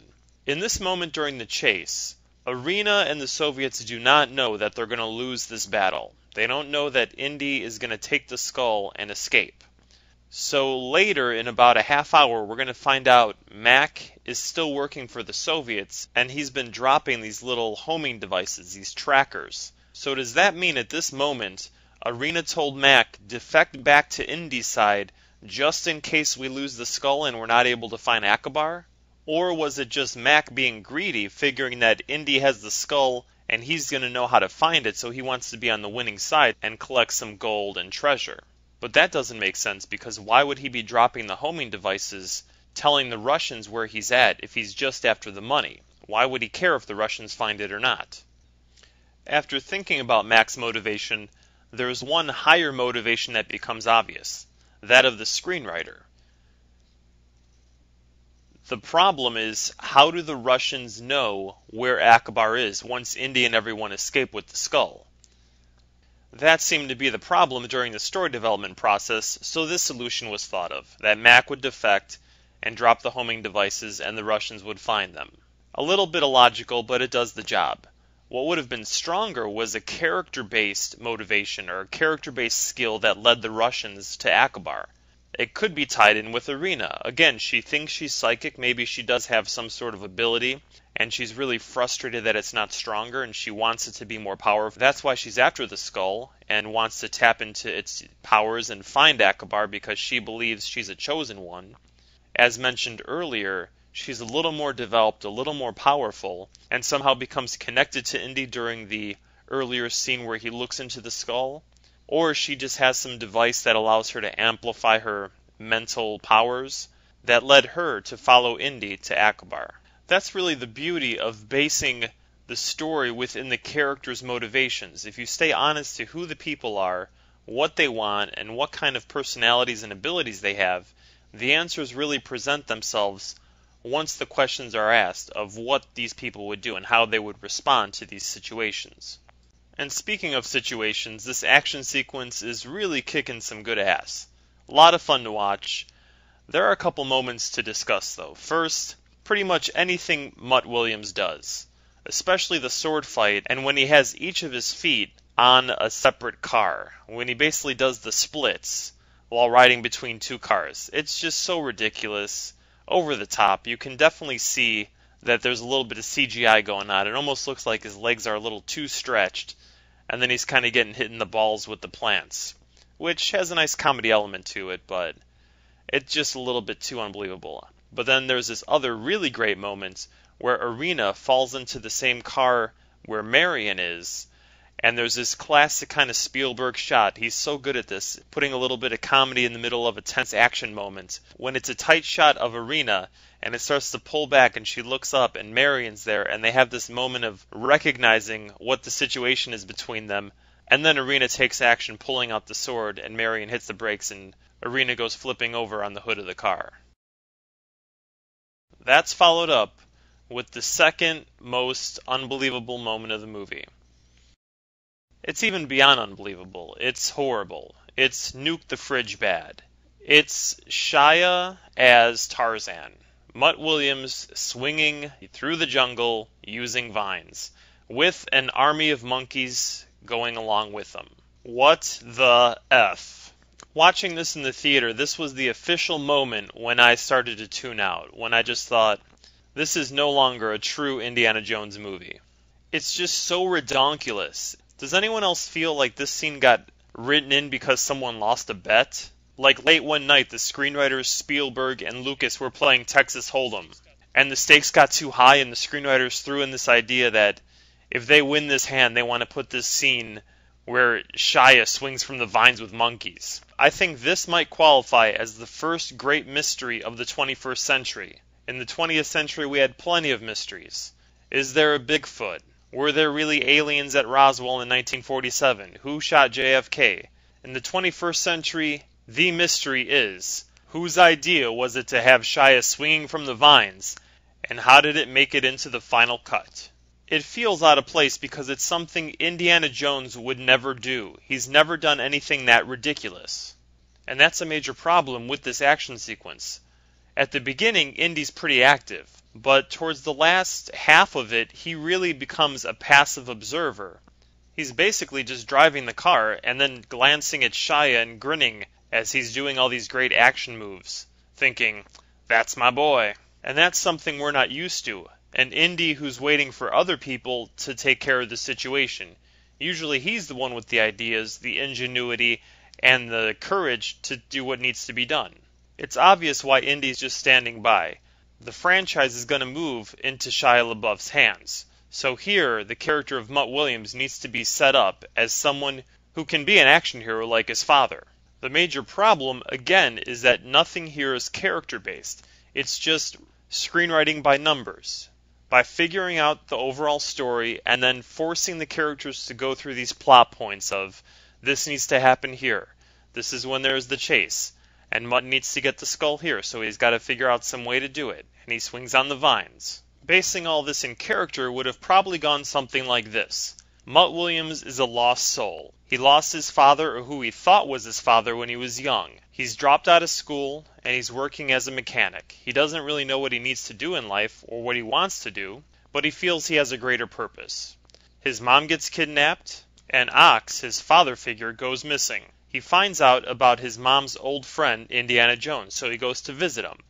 And as he goes on this adventure with this stranger, he discovers some of his limitations, that maybe he's not as courageous as he thinks he is, he pretends to be this tough greaser, but really inside he's scared of taking any risks. So this adventure is going to open him up. It's going to lead him to challenge himself and develop these new abilities or realize these abilities that he's always had.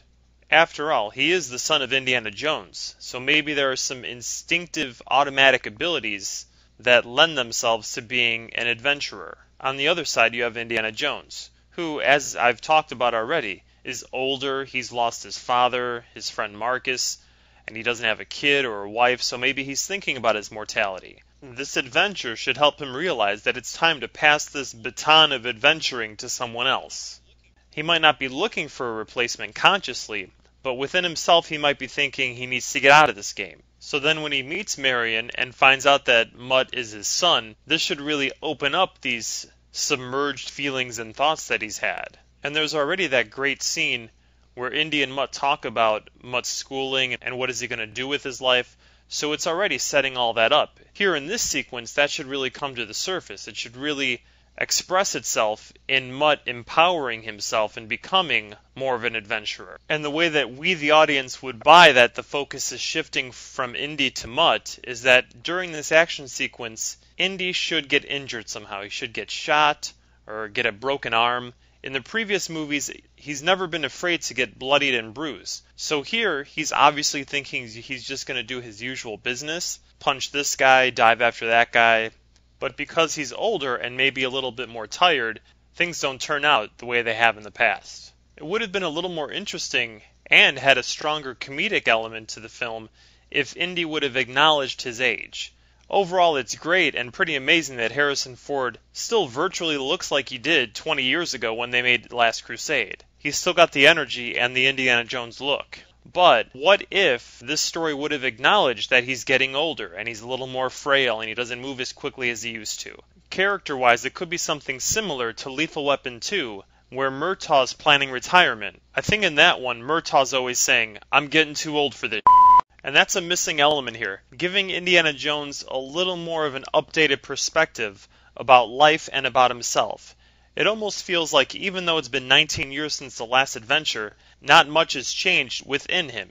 So overall, the motivations would have worked better if Indy would have been feeling his age and have gotten injured in this moment, and then Mutt would have had to step up his game and become a stronger, more confident adventurer and show us that he can eventually take over for his father. It seems that the movie wasn't sure what it wanted to do with both of these characters. Was this an Indiana Jones as a main character movie, or was it a Mutt Williams taking over for his father movie? It kind of tried to have it both ways, and in the end, felt like it didn't belong to either of them. The scene that just finished up with the oversized ants attacking everyone is really a great idea. It might be my favorite moment of the movie. And even though I've been preaching about how I love Indiana Jones because it never uses special effects and any green screen, it's always set in reality and real locations and uses real live stunts. This scene deserves credit because the creativity is really great. Just like Temple of Doom, it really plays on our fears of insects. And you gotta love that moment when the ants showed the intelligence to climb on each other's backs and try to reach Irina as she was hanging from a tree. But the best moment has to be when Indy's fighting the Russian and he knocks him out and the ants swarm him and carry him back into their little ant hill home. Really creepy and uncomfortable. Right after that is another action moment inspired by Temple of Doom, where Marion takes the car and races it off the ledge, landing on the tree and then landing into the river. That's very reminiscent of Indy inflating the raft, jumping out of the plane, and landing on the mountain with the snow and then sliding down it. Same thing here where they start going down the different waterfalls. And equally as unbelievable. Here you may even need to suspend your disbelief a little bit more, especially when they fall down the third waterfall. Now I don't know about anyone else, but have you ever during the summer gone to the end of your block at the corner and opened up the fire hydrant, if you ever step in front of the fire hydrant, the pressure and the power of the water just catapults you back. Now, a waterfall's got to be like a hundred times the power of that. So once they go down the third fall here and they're totally submerged and the water is just pounding on them, everyone comes up no problem and the crystal skull also doesn't get lost. So you kind of wonder about that. And look at this, they actually fall out of the car as they fall down the waterfall which behind Nuke the Fridge and Mutt as Tarzan is the third ridiculous moment of the movie. Then they all swim to safety towards the shore, and Marion's sitting there with the steering wheel in her hand. Now, again, if that logic part of your brain is active and it's turned on and it hasn't been lobotomized by the absurdity of Nuke the Fridge and Tarzan swinging in the vines, then you just got to wonder okay, you just saw her fall out of the car how is it that she ended up with the steering wheel? But let's not get up in nitpicking and let's just try to enjoy this adventure because it's obvious it's not totally based in reality and it's a heightened version of that and it's just meant to take us on a wild ride. Even though you can go watch the Mummy trilogy or the Laura Croft movies and get the same kind of feeling as you're getting here. What's happened is that the characters aren't affecting the action as much as they should be the action isn't coming from the characters' personalities and their emotions, and therefore it feels very generic. It just feels like these characters are literally in that car taking a ride down this waterfall. The waterfall is just a metaphor for the movie where it's just a, a wild ride with its ups and downs, and the characters are just locked into this car having to obey the course of where the story and the plot has to go or wants to go. For example, Marion's decision to jump the car off the ledge into the water just felt very arbitrary. There's no real reason why she would have done that.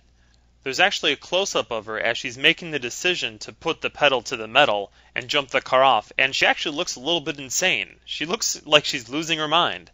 And I don't think that's the intention there. What probably should have happened was keep this antagonistic relationship between her and Indy alive.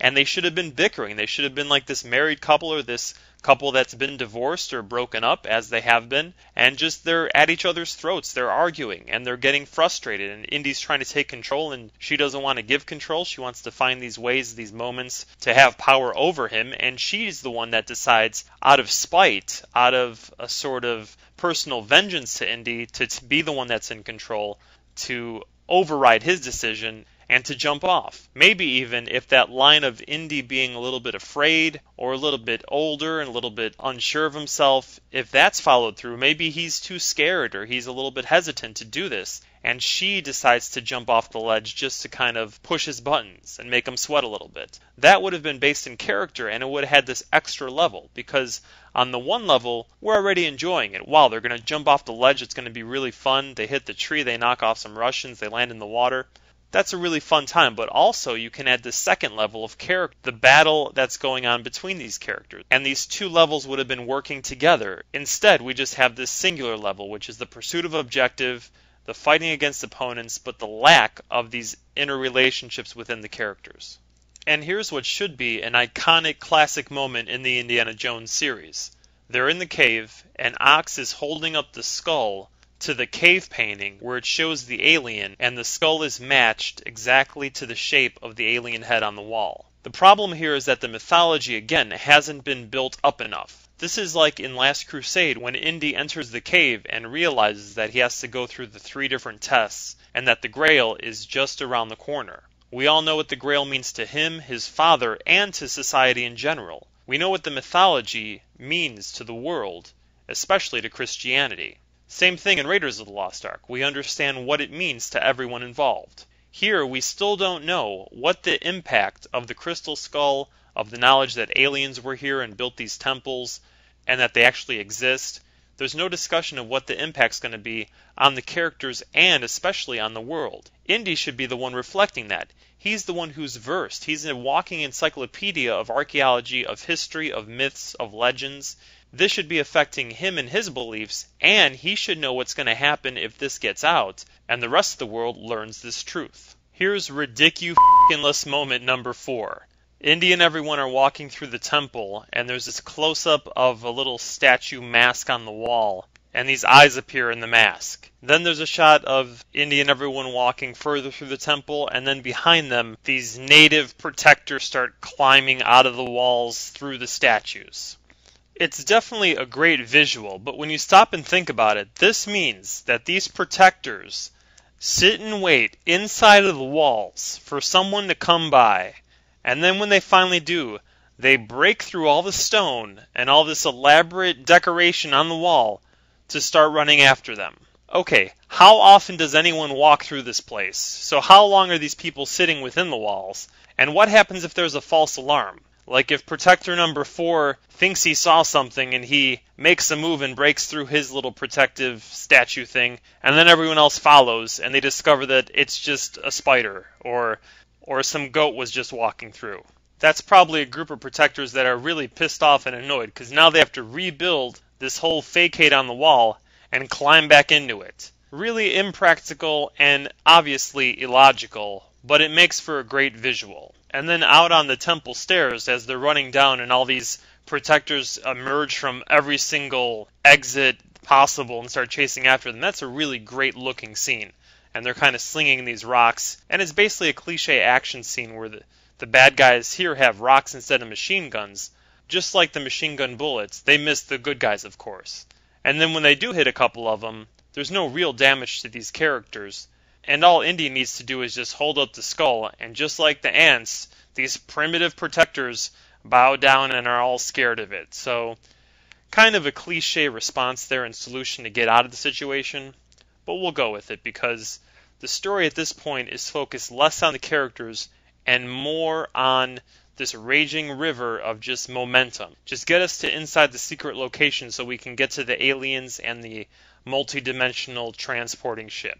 To compare Crystal Skull again with The Amazing Race, we've just seen two solid action sequences, and in The Amazing Race, following any kind of action moments or when they're chasing and racing, you need those confession cam moments. You need a little bit of downtime so the characters can express how they feel about things. In terms of a movie, they don't express it to a camera, they express it to each other. That didn't happen here. So it just feels like we're on a non stop roller coaster ride and we're not getting to know the characters. We're just watching some people be moved along this course of action. Here, Indy figures how to open up this secret entrance to the inner cave. And it's pretty interesting. It's it's unique enough, but it also doesn't feel like it's blowing us away. Again, we've seen the two National Treasure movies, and they have some pretty inventive secret passages and clues you have to unravel. So here, Crystal Skull really had to one up it. I don't know if it totally blew us away, but it did it enough to make us interested. A key factor missing in this moment is again character, especially Indiana Jones. There should be some kind of excitement, especially a close up that captures some sort of emotional information on his face as he figures out how to open this thing up. Unfortunately, there's no invested emotion and curiosity on his part, so this is kind of just him going through the motions. There really wasn't a close up once of him as he was figuring out how to open this up. If you go back to Crusade, as he's reading his father's journal, there's a lot of close ups, and as he's following the clues, breaking the code and figuring out how things work really affect him on an inner level. So here the pillars are coming together, the sand drops out of the way, and they fall onto the stairs, which are about to recede into the wall.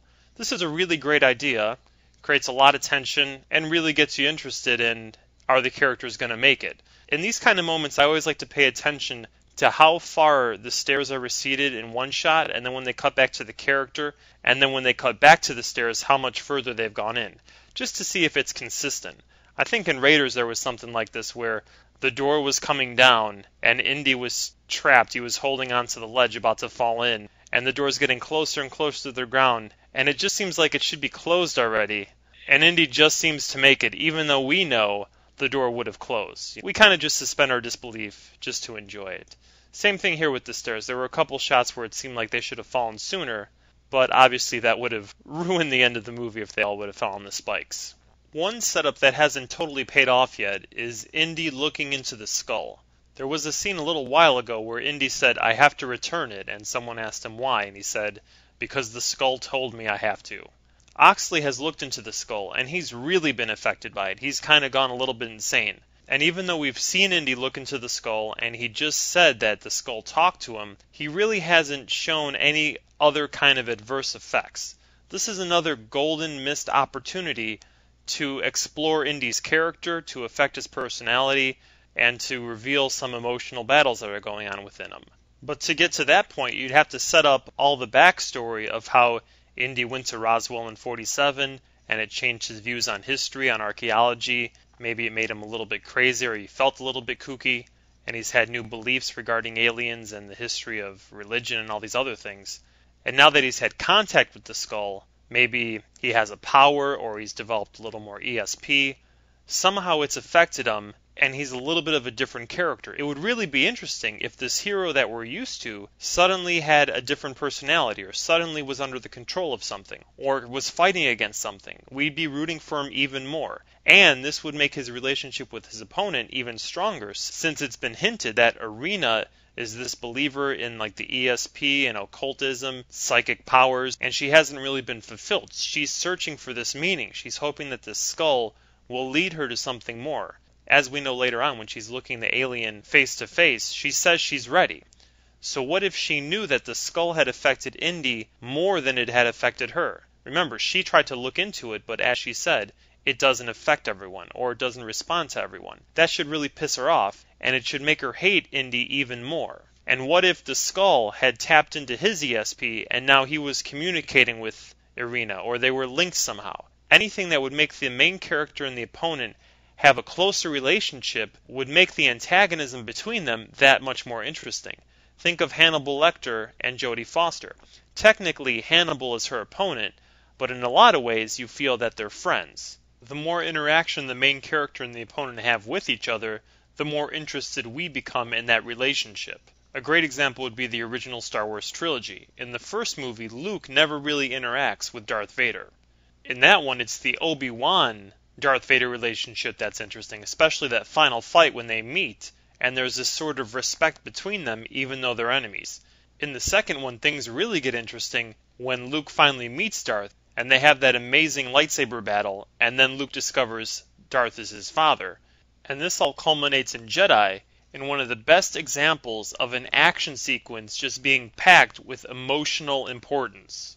Their final battle in the Emperor's chamber. Darth is trying to convince Luke to turn to the dark side, and he's using all these emotional triggers to get him to use his hate and to turn to the dark side to defeat Darth Vader. So he pulls out the ultimate ace, which is mentioning his sister, and then Luke goes nuts and uses his emotions to cut off Darth's hand and is just on the verge of killing his father when his inner struggle, this inner battle, finally comes to a peaceful moment and he realizes what he has to do, which is not strike down his father. He's become a Jedi and he's on the verge of redeeming his father.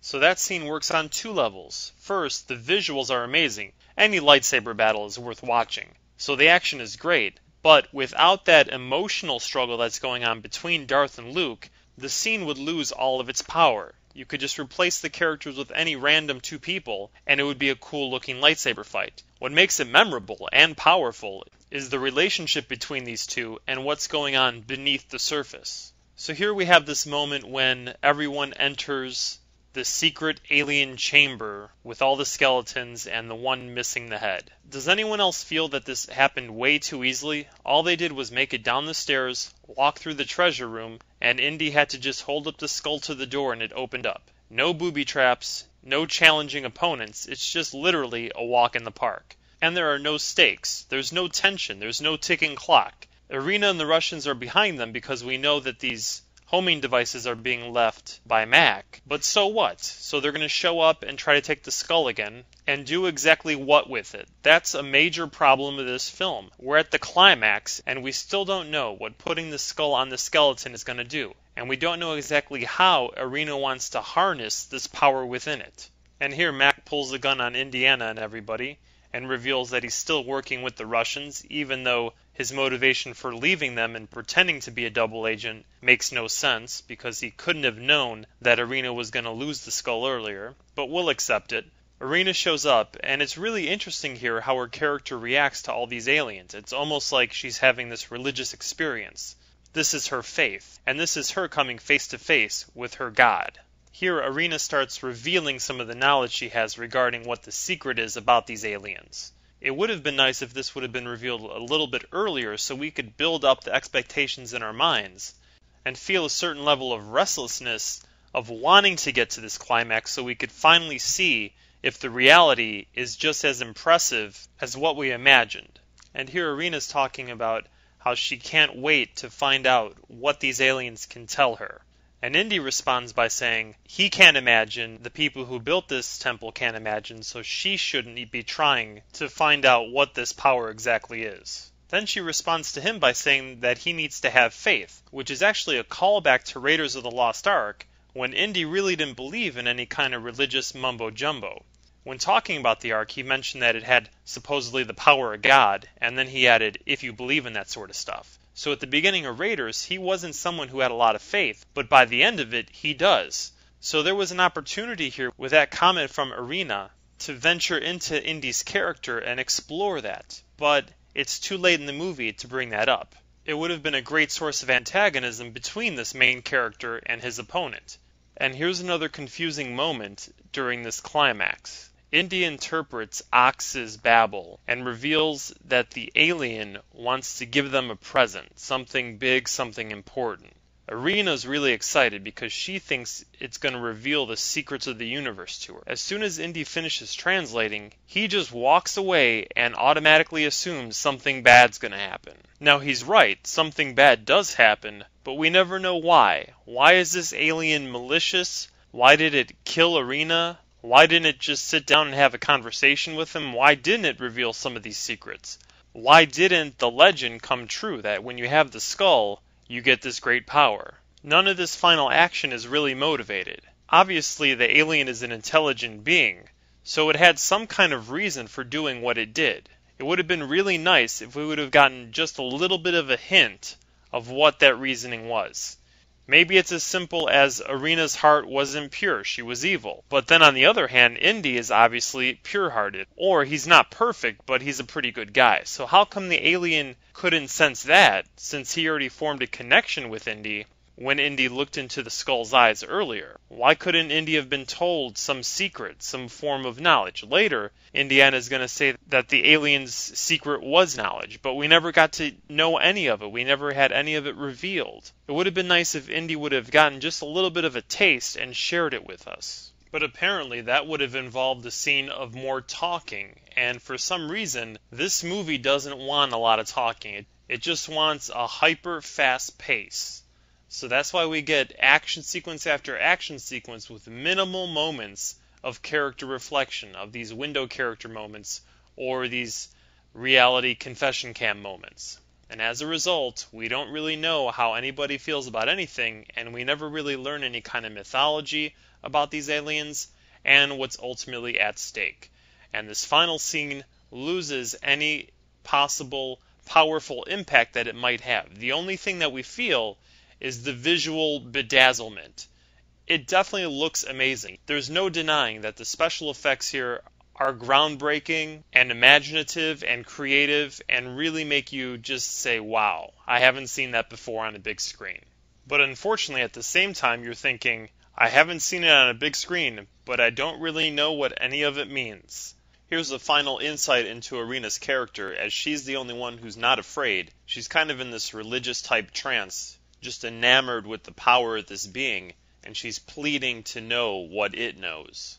Again, it would have been nice if this aspect of her personality was a little more developed and shared with the audience. Aside from more window character and confession cam moments for her, she could have been spilling her soul to Indy when she's in scenes with him and they're battling each other for knowledge, and to find out the secret of the skull and where Akbar is. Or you could have had another Russian agent, her superior, someone who didn't believe in the occult and the psychic ESP kind of powers as much as she did.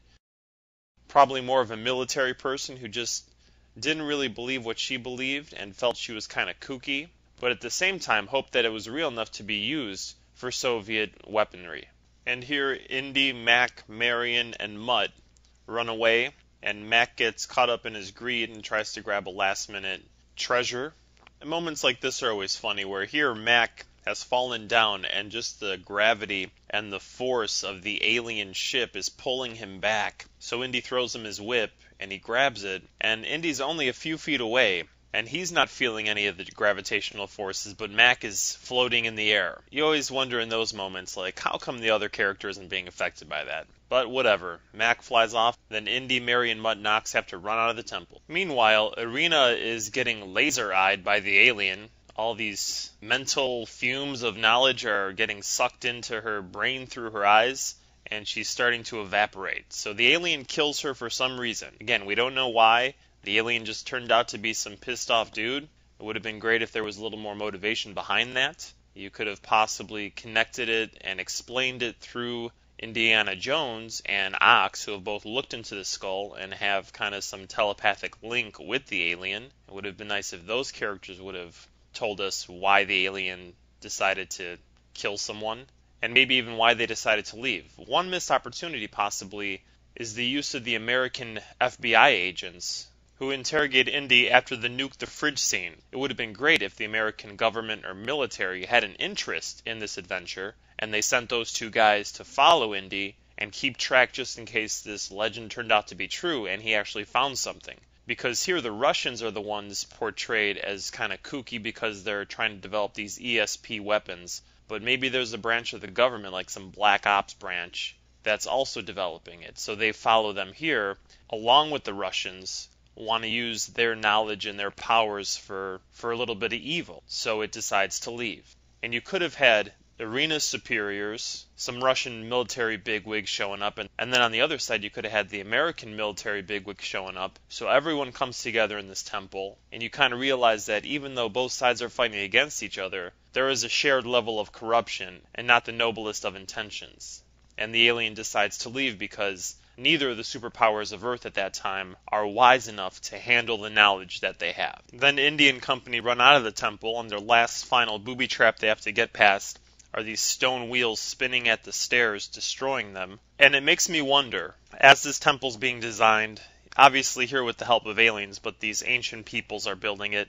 And it's always funny, I wonder about this sort of primitive boardroom conversation they had about the design of this place, saying, well, if anyone makes it to the UFO and they somehow escape the wrath of the flaming eyes, let's just make this final booby trap where everyone has to run past the stairs, and these wheels are going to destroy the stairs, but they're going to move slow enough that anyone can get past them. It's purely just a genre set piece. It's only for the visual tantalization of the audience. And speaking of tantalizing the audience, here's the greatest moment in the movie when they run to the top and they have this overview of what exactly is going on with the temple and the alien ship. The alien ship basically destroys the temple, rises up, and then vanishes into another dimension. All the rocks drop, and then the water spills in. And as Ox says, it's a broom to their footprint. Any proof that they were here is buried under the water.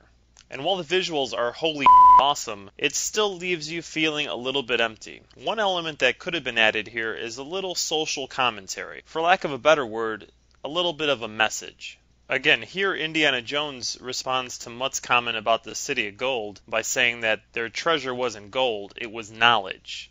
It's really strange that that's mentioned here at the end because throughout the movie it's never really addressed. You get the feeling like there was this idea of an overlying message to the movie, but it really didn't have any time to be developed because for some reason the decision was made that this movie would just move at 100 miles an hour and never stop to address the characters and their emotions as I've mentioned a hundred times before already, but on the other side, never address this overview of what the world's becoming at that time and what it needs, which is a little bit of enlightenment. Even though the world's in the middle of the atomic age and scientific knowledge is really developing, human wisdom isn't developing at the same speed. America had the Red Scare in the 50s, where everyone was a communist suspect. It was basically a modern day Spanish Inquisition, but instead of agents of the church interrogating people, it was agents of the government. It was a time of fear and paranoia.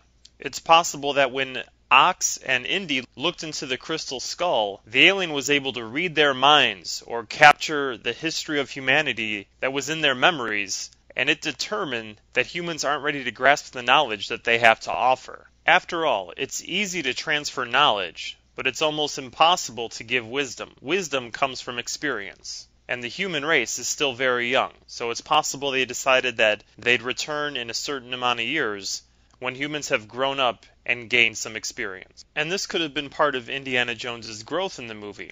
Again, as has been mentioned, maybe he knows he's getting older, he doesn't have a lot of adventuring left in him, and he wants to go on one final adventure that's really going to give something to humanity. His whole life he's just been going after these physical treasures that either end up in museums or boxed up at Area 51. And it's perfect how this one starts at Area 51, where one of his greatest adventures ended, where the Ark was put in a box and hidden somewhere. Here, maybe he knows a little bit more about the legend of Akbar, about the Crystal Skull, and he knows there's some hidden knowledge related to the aliens in the skull. Or maybe he doesn't believe it at the beginning, but at the middle of the movie, as soon as he looks into the skull, he realizes what's at stake.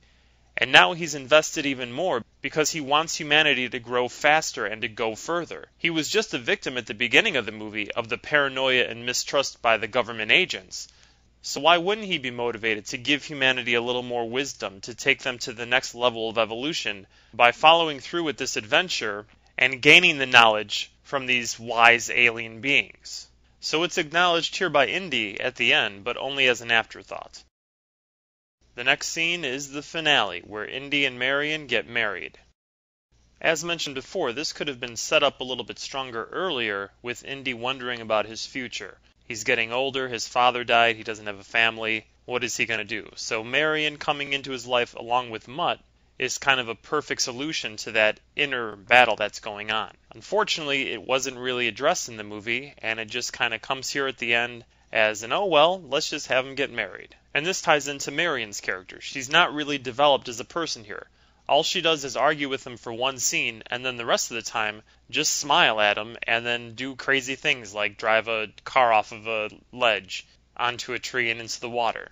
Every character should be just as developed as the main character. So for Marion, she should have some kind of issues going on within her. Maybe she doesn't have a husband and she's always loved Indy and she knows obviously that this is a child, so she wants to get back together with him. Maybe also there could have been this interesting little twist earlier where she's a really big believer in the UFO, in the aliens. After all, she's been hanging out with Oxley and he's a believer in the Crystal Skull and Akbar. So maybe with the 1947 Roswell, she became interested in that, and hearing all the stories, she's a true believer. So in this adventure, she could really be pushing Indiana Jones forward to believe and to challenge this inner struggle that's going on regarding settling down. And then this would be the culmination of that. And there was also a missed opportunity with Marion's character because the ending of Raiders is very similar to the ending of Crystal Skull here, where the objective is this mysterious, powerful object in Raiders, it has more of a religious significance and it has the force of God. Here, Irina, a Soviet and a communist, a regime that was known for suppressing religion and erasing the notion that the power of Christianity and of God exists, she might believe that aliens are the gods. And here we have this being coming to life and basically killing her the same way that the Ark killed the Nazi, where it's just this light, this powerful force, and it just evaporates her. So there's a great opportunity here for Marion to call back to Raiders, where her and Indiana are basically in the same situation. And she could totally make a joke about that, saying, How come every time we go out, we always get into these situations? Or maybe she could say something like, Why is it you can't ever take me out on a normal date? Just acknowledging the fact that in Raiders they were together and tied up and about to witness some kind of powerful energy coming from this artifact, and here they are again, just about to get vaporized. So she might be the one to tell Indy and everyone to get out of there because she knows what's coming. And then there's Mutt Williams. His character is also ignored in terms of a journey, of a character arc. He really doesn't have one. And that's the reason when we leave the theater here, we feel like we had a great adventure, but we're a little bit empty because no one in the movie was changed by the adventure, and as a result, we didn't connect with anyone and we weren't changed. If any character in the movie should have changed, Mutt Williams is that character. We can compare him to Luke in Star Wars. He's the one that needs a call to adventure so we can fully realize some kind of destiny, especially here in the last scene at the wedding when the doors open and they blow the hat off the stand onto the ground and Mutt picks it up it's an obvious sign of, hey, this guy could be the next Indiana Jones. And then Indy comes and takes it away from him. But for me, he hasn't shown any kind of potential to become anything close to Indiana Jones. Let's give Mutt Williams a little bit of a character examination. Right now, think of a couple adjectives that describe him at the beginning of the movie or when he's first introduced. Now, at the end here, think of some adjectives that describe him in this moment he's pretty much the same. He really hasn't changed at all. The only thing that's happened is he's found out who his dad is. He doesn't have his motorcycle, and he's not pulling his switchblade out all the time.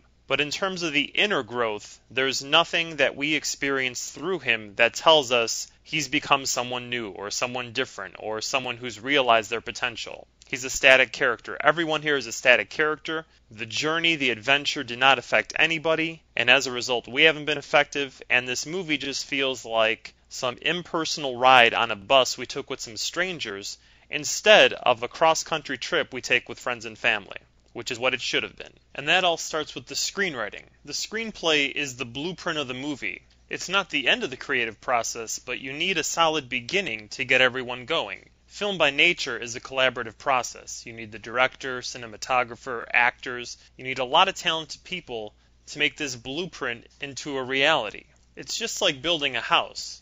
No matter how skilled the bricklayers and the carpenters are, if the blueprint for the house is off in any kind of way, the house will be built on a slant or it'll crumble after a little while. When crafting a screenplay and designing a movie, there's really three major areas that need to be addressed genre, story, and character. And in the late 70s and early 80s, There were three filmmakers who were masters in each of these areas, and in 1981 they came together and united their collective skills to create a classic, Raiders of the Lost Ark. The filmmakers were George Lucas, Steven Spielberg, and Lawrence Kasdan. Lucas is an undisputed master of story. His imagination is unparalleled, and he's the one that comes up with the great ideas for the for the overall concept of a story, of a movie. He creates the worlds, the universe, the inhabitants, thinks of the characters, and helps develop them. And it was during a conversation with Steven Spielberg that the idea for Indiana Jones was born. As the story goes, Spielberg wanted to do a James Bond type of a movie, and Lucas said, I have a James Bond type story, but it's even better. In 1980, Spielberg was the most popular director on the planet, the man with the golden cinematic touch. And that was related to his uncanny ability to deliver genre. The success of Jaws and Close Encounters of the Third Kind proved that he had undeniable filmmaking talent when it came to delivering genre. In Jaws, it was making us scared of the water by putting the camera to the point of view of a shark moving up underwater towards someone's feet, or as someone's attacked by a shark, keeping the camera above water and following them as they're jerked back and forth allowing the audience to create the sense of terror by imagining what's going on underneath. Delivering these genre moments in Jaws made a whole generation of would-be swimmers afraid to go into the water. In 1980, Lawrence Kasdan had written Empire Strikes Back. Empire is arguably the best of all the Star Wars movies, mainly because it takes the characters to places you wouldn't expect in a sci-fi movie. The characters are complex, and their relationships are filled with emotional struggles you'd expect in a straight up drama. Essentially, Empire is treated seriously. The characters are given a level of respect by the filmmakers, and therefore that transfers over to the audience. Good storytelling is basically drama, the struggle between characters. Ideally, any genre movie is basically drama plus that genre. So a sci-fi film or horror or a western should have a solid dramatic base that just happens to take place in this genre setting. This is what Empire Strikes Back does perfectly. It respects the drama and takes that into an amazingly imaginative world of this science fiction universe. So it was George Lucas that created this unique universe it was Steven Spielberg that delivered the genre set pieces, and it was Lawrence Kasdan that finely tuned the dramatic moments between the characters. And this implies creating complex characters, figuring out who each person is, what they want, what their struggles are. This is a lot of work, and it's something that Kasdan is extremely talented at, and the evidence speaks for itself in Empire and Raiders of the Lost Ark. 27 years later, two out of these three pieces are present for Kingdom of the Crystal Skull, but it doesn't feel the same because that skilled person who can develop the characters and create these emotional struggles is gone. A lot has been said about the writing of the script for Crystal Skull, how it moved from one writer to the other, how M. Night Shyamalan had a draft going, and then Frank Darabont had a draft going, and many different writers took passes at it. The end result speaks for itself. This blueprint created a movie which has two of the three major areas of any cinematic story working well, but missing a key element. The overall story idea is fine. The genre set pieces are amazing, but here the characterization fails. And it might just be a sign of the times. In the late 70s and early 80s, there was a level of respect for all the elements of a good movie, especially characterization. In 1981, when Raiders came out, there wasn't this big Hollywood blockbuster machine ruling over everything. Blockbusters had pretty much been invented in the mid 70s with Jaws, Close Encounters of the Third Kind, and Star Wars. More than likely, if there was a blockbuster, it had the name Spielberg or Lucas attached somewhere to it. So the hyper greed propelled by the corporate owned studios of today's age hadn't infected the filmmakers of that era. Obviously, the studios wanted to make as much money as possible from every project that they released, but the assembly line process of would be blockbusters wasn't so scientific as it is today. The best way to put this would be 30 years ago, it was story, ideas, and characters first, then profit. Today, it's the reverse. This is one of the most obvious aspects of the Crystal Skull. In a lot of ways, this movie was created because there's a huge market for Indiana Jones. It's been almost 20 years since the last big screen adventure, and there was a multi generational demand to see Indy back on the big screen.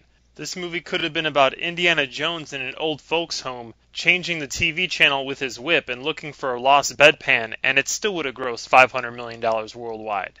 Obviously, everyone involved wants to make the best movie possible. No one's trying to take shortcuts or just put something together really quick just to make some money. There are some big names attached to this project, and these names have a level of quality associated with them, so obviously they want to keep that reputation going. But here, it looks like the creators of the blockbuster have unknowingly become victims of it. That's a troubling sign for the future of cinema when two of its masters fall victim to superficial storytelling. These pioneers revolutionized movie making in the 70s and 80s. By dreaming big, they forced the medium to evolve. They gave us visuals that inspired our imaginations and characters that touched our hearts, and the technology and tools to transfer our fantasies to the big screen. But somewhere along the way between Raiders and Crystal Skull, the movie world forgot these three key elements genre, story, and character. Character was the first to go, followed by a weakened sense of story, and both of those were replaced with a cracked out form of genre. In today's movie world, it just seems all you need to deliver is the genre. Give us spaceships, explosions, high octane chases keep our eyes and minds stimulated with amazing visuals, and we won't notice that our hearts are aching for some kind of connection. And that's the real reason we all go to the movies to connect, to get in touch with our basic human selves. And the quickest way to do that is to feel. And no other storytelling medium can connect us to our feelings faster than the cinema. Stories remind us of who we were, they tell us who we are, and they inspire us to dream of what we can become. Humans have used story in this way for thousands of years. Back then, the audience gathered around a campfire as the storyteller weaved a tale. And staring into the flickering fire, the spectators imagined the story in their minds. Times really haven't changed all that much.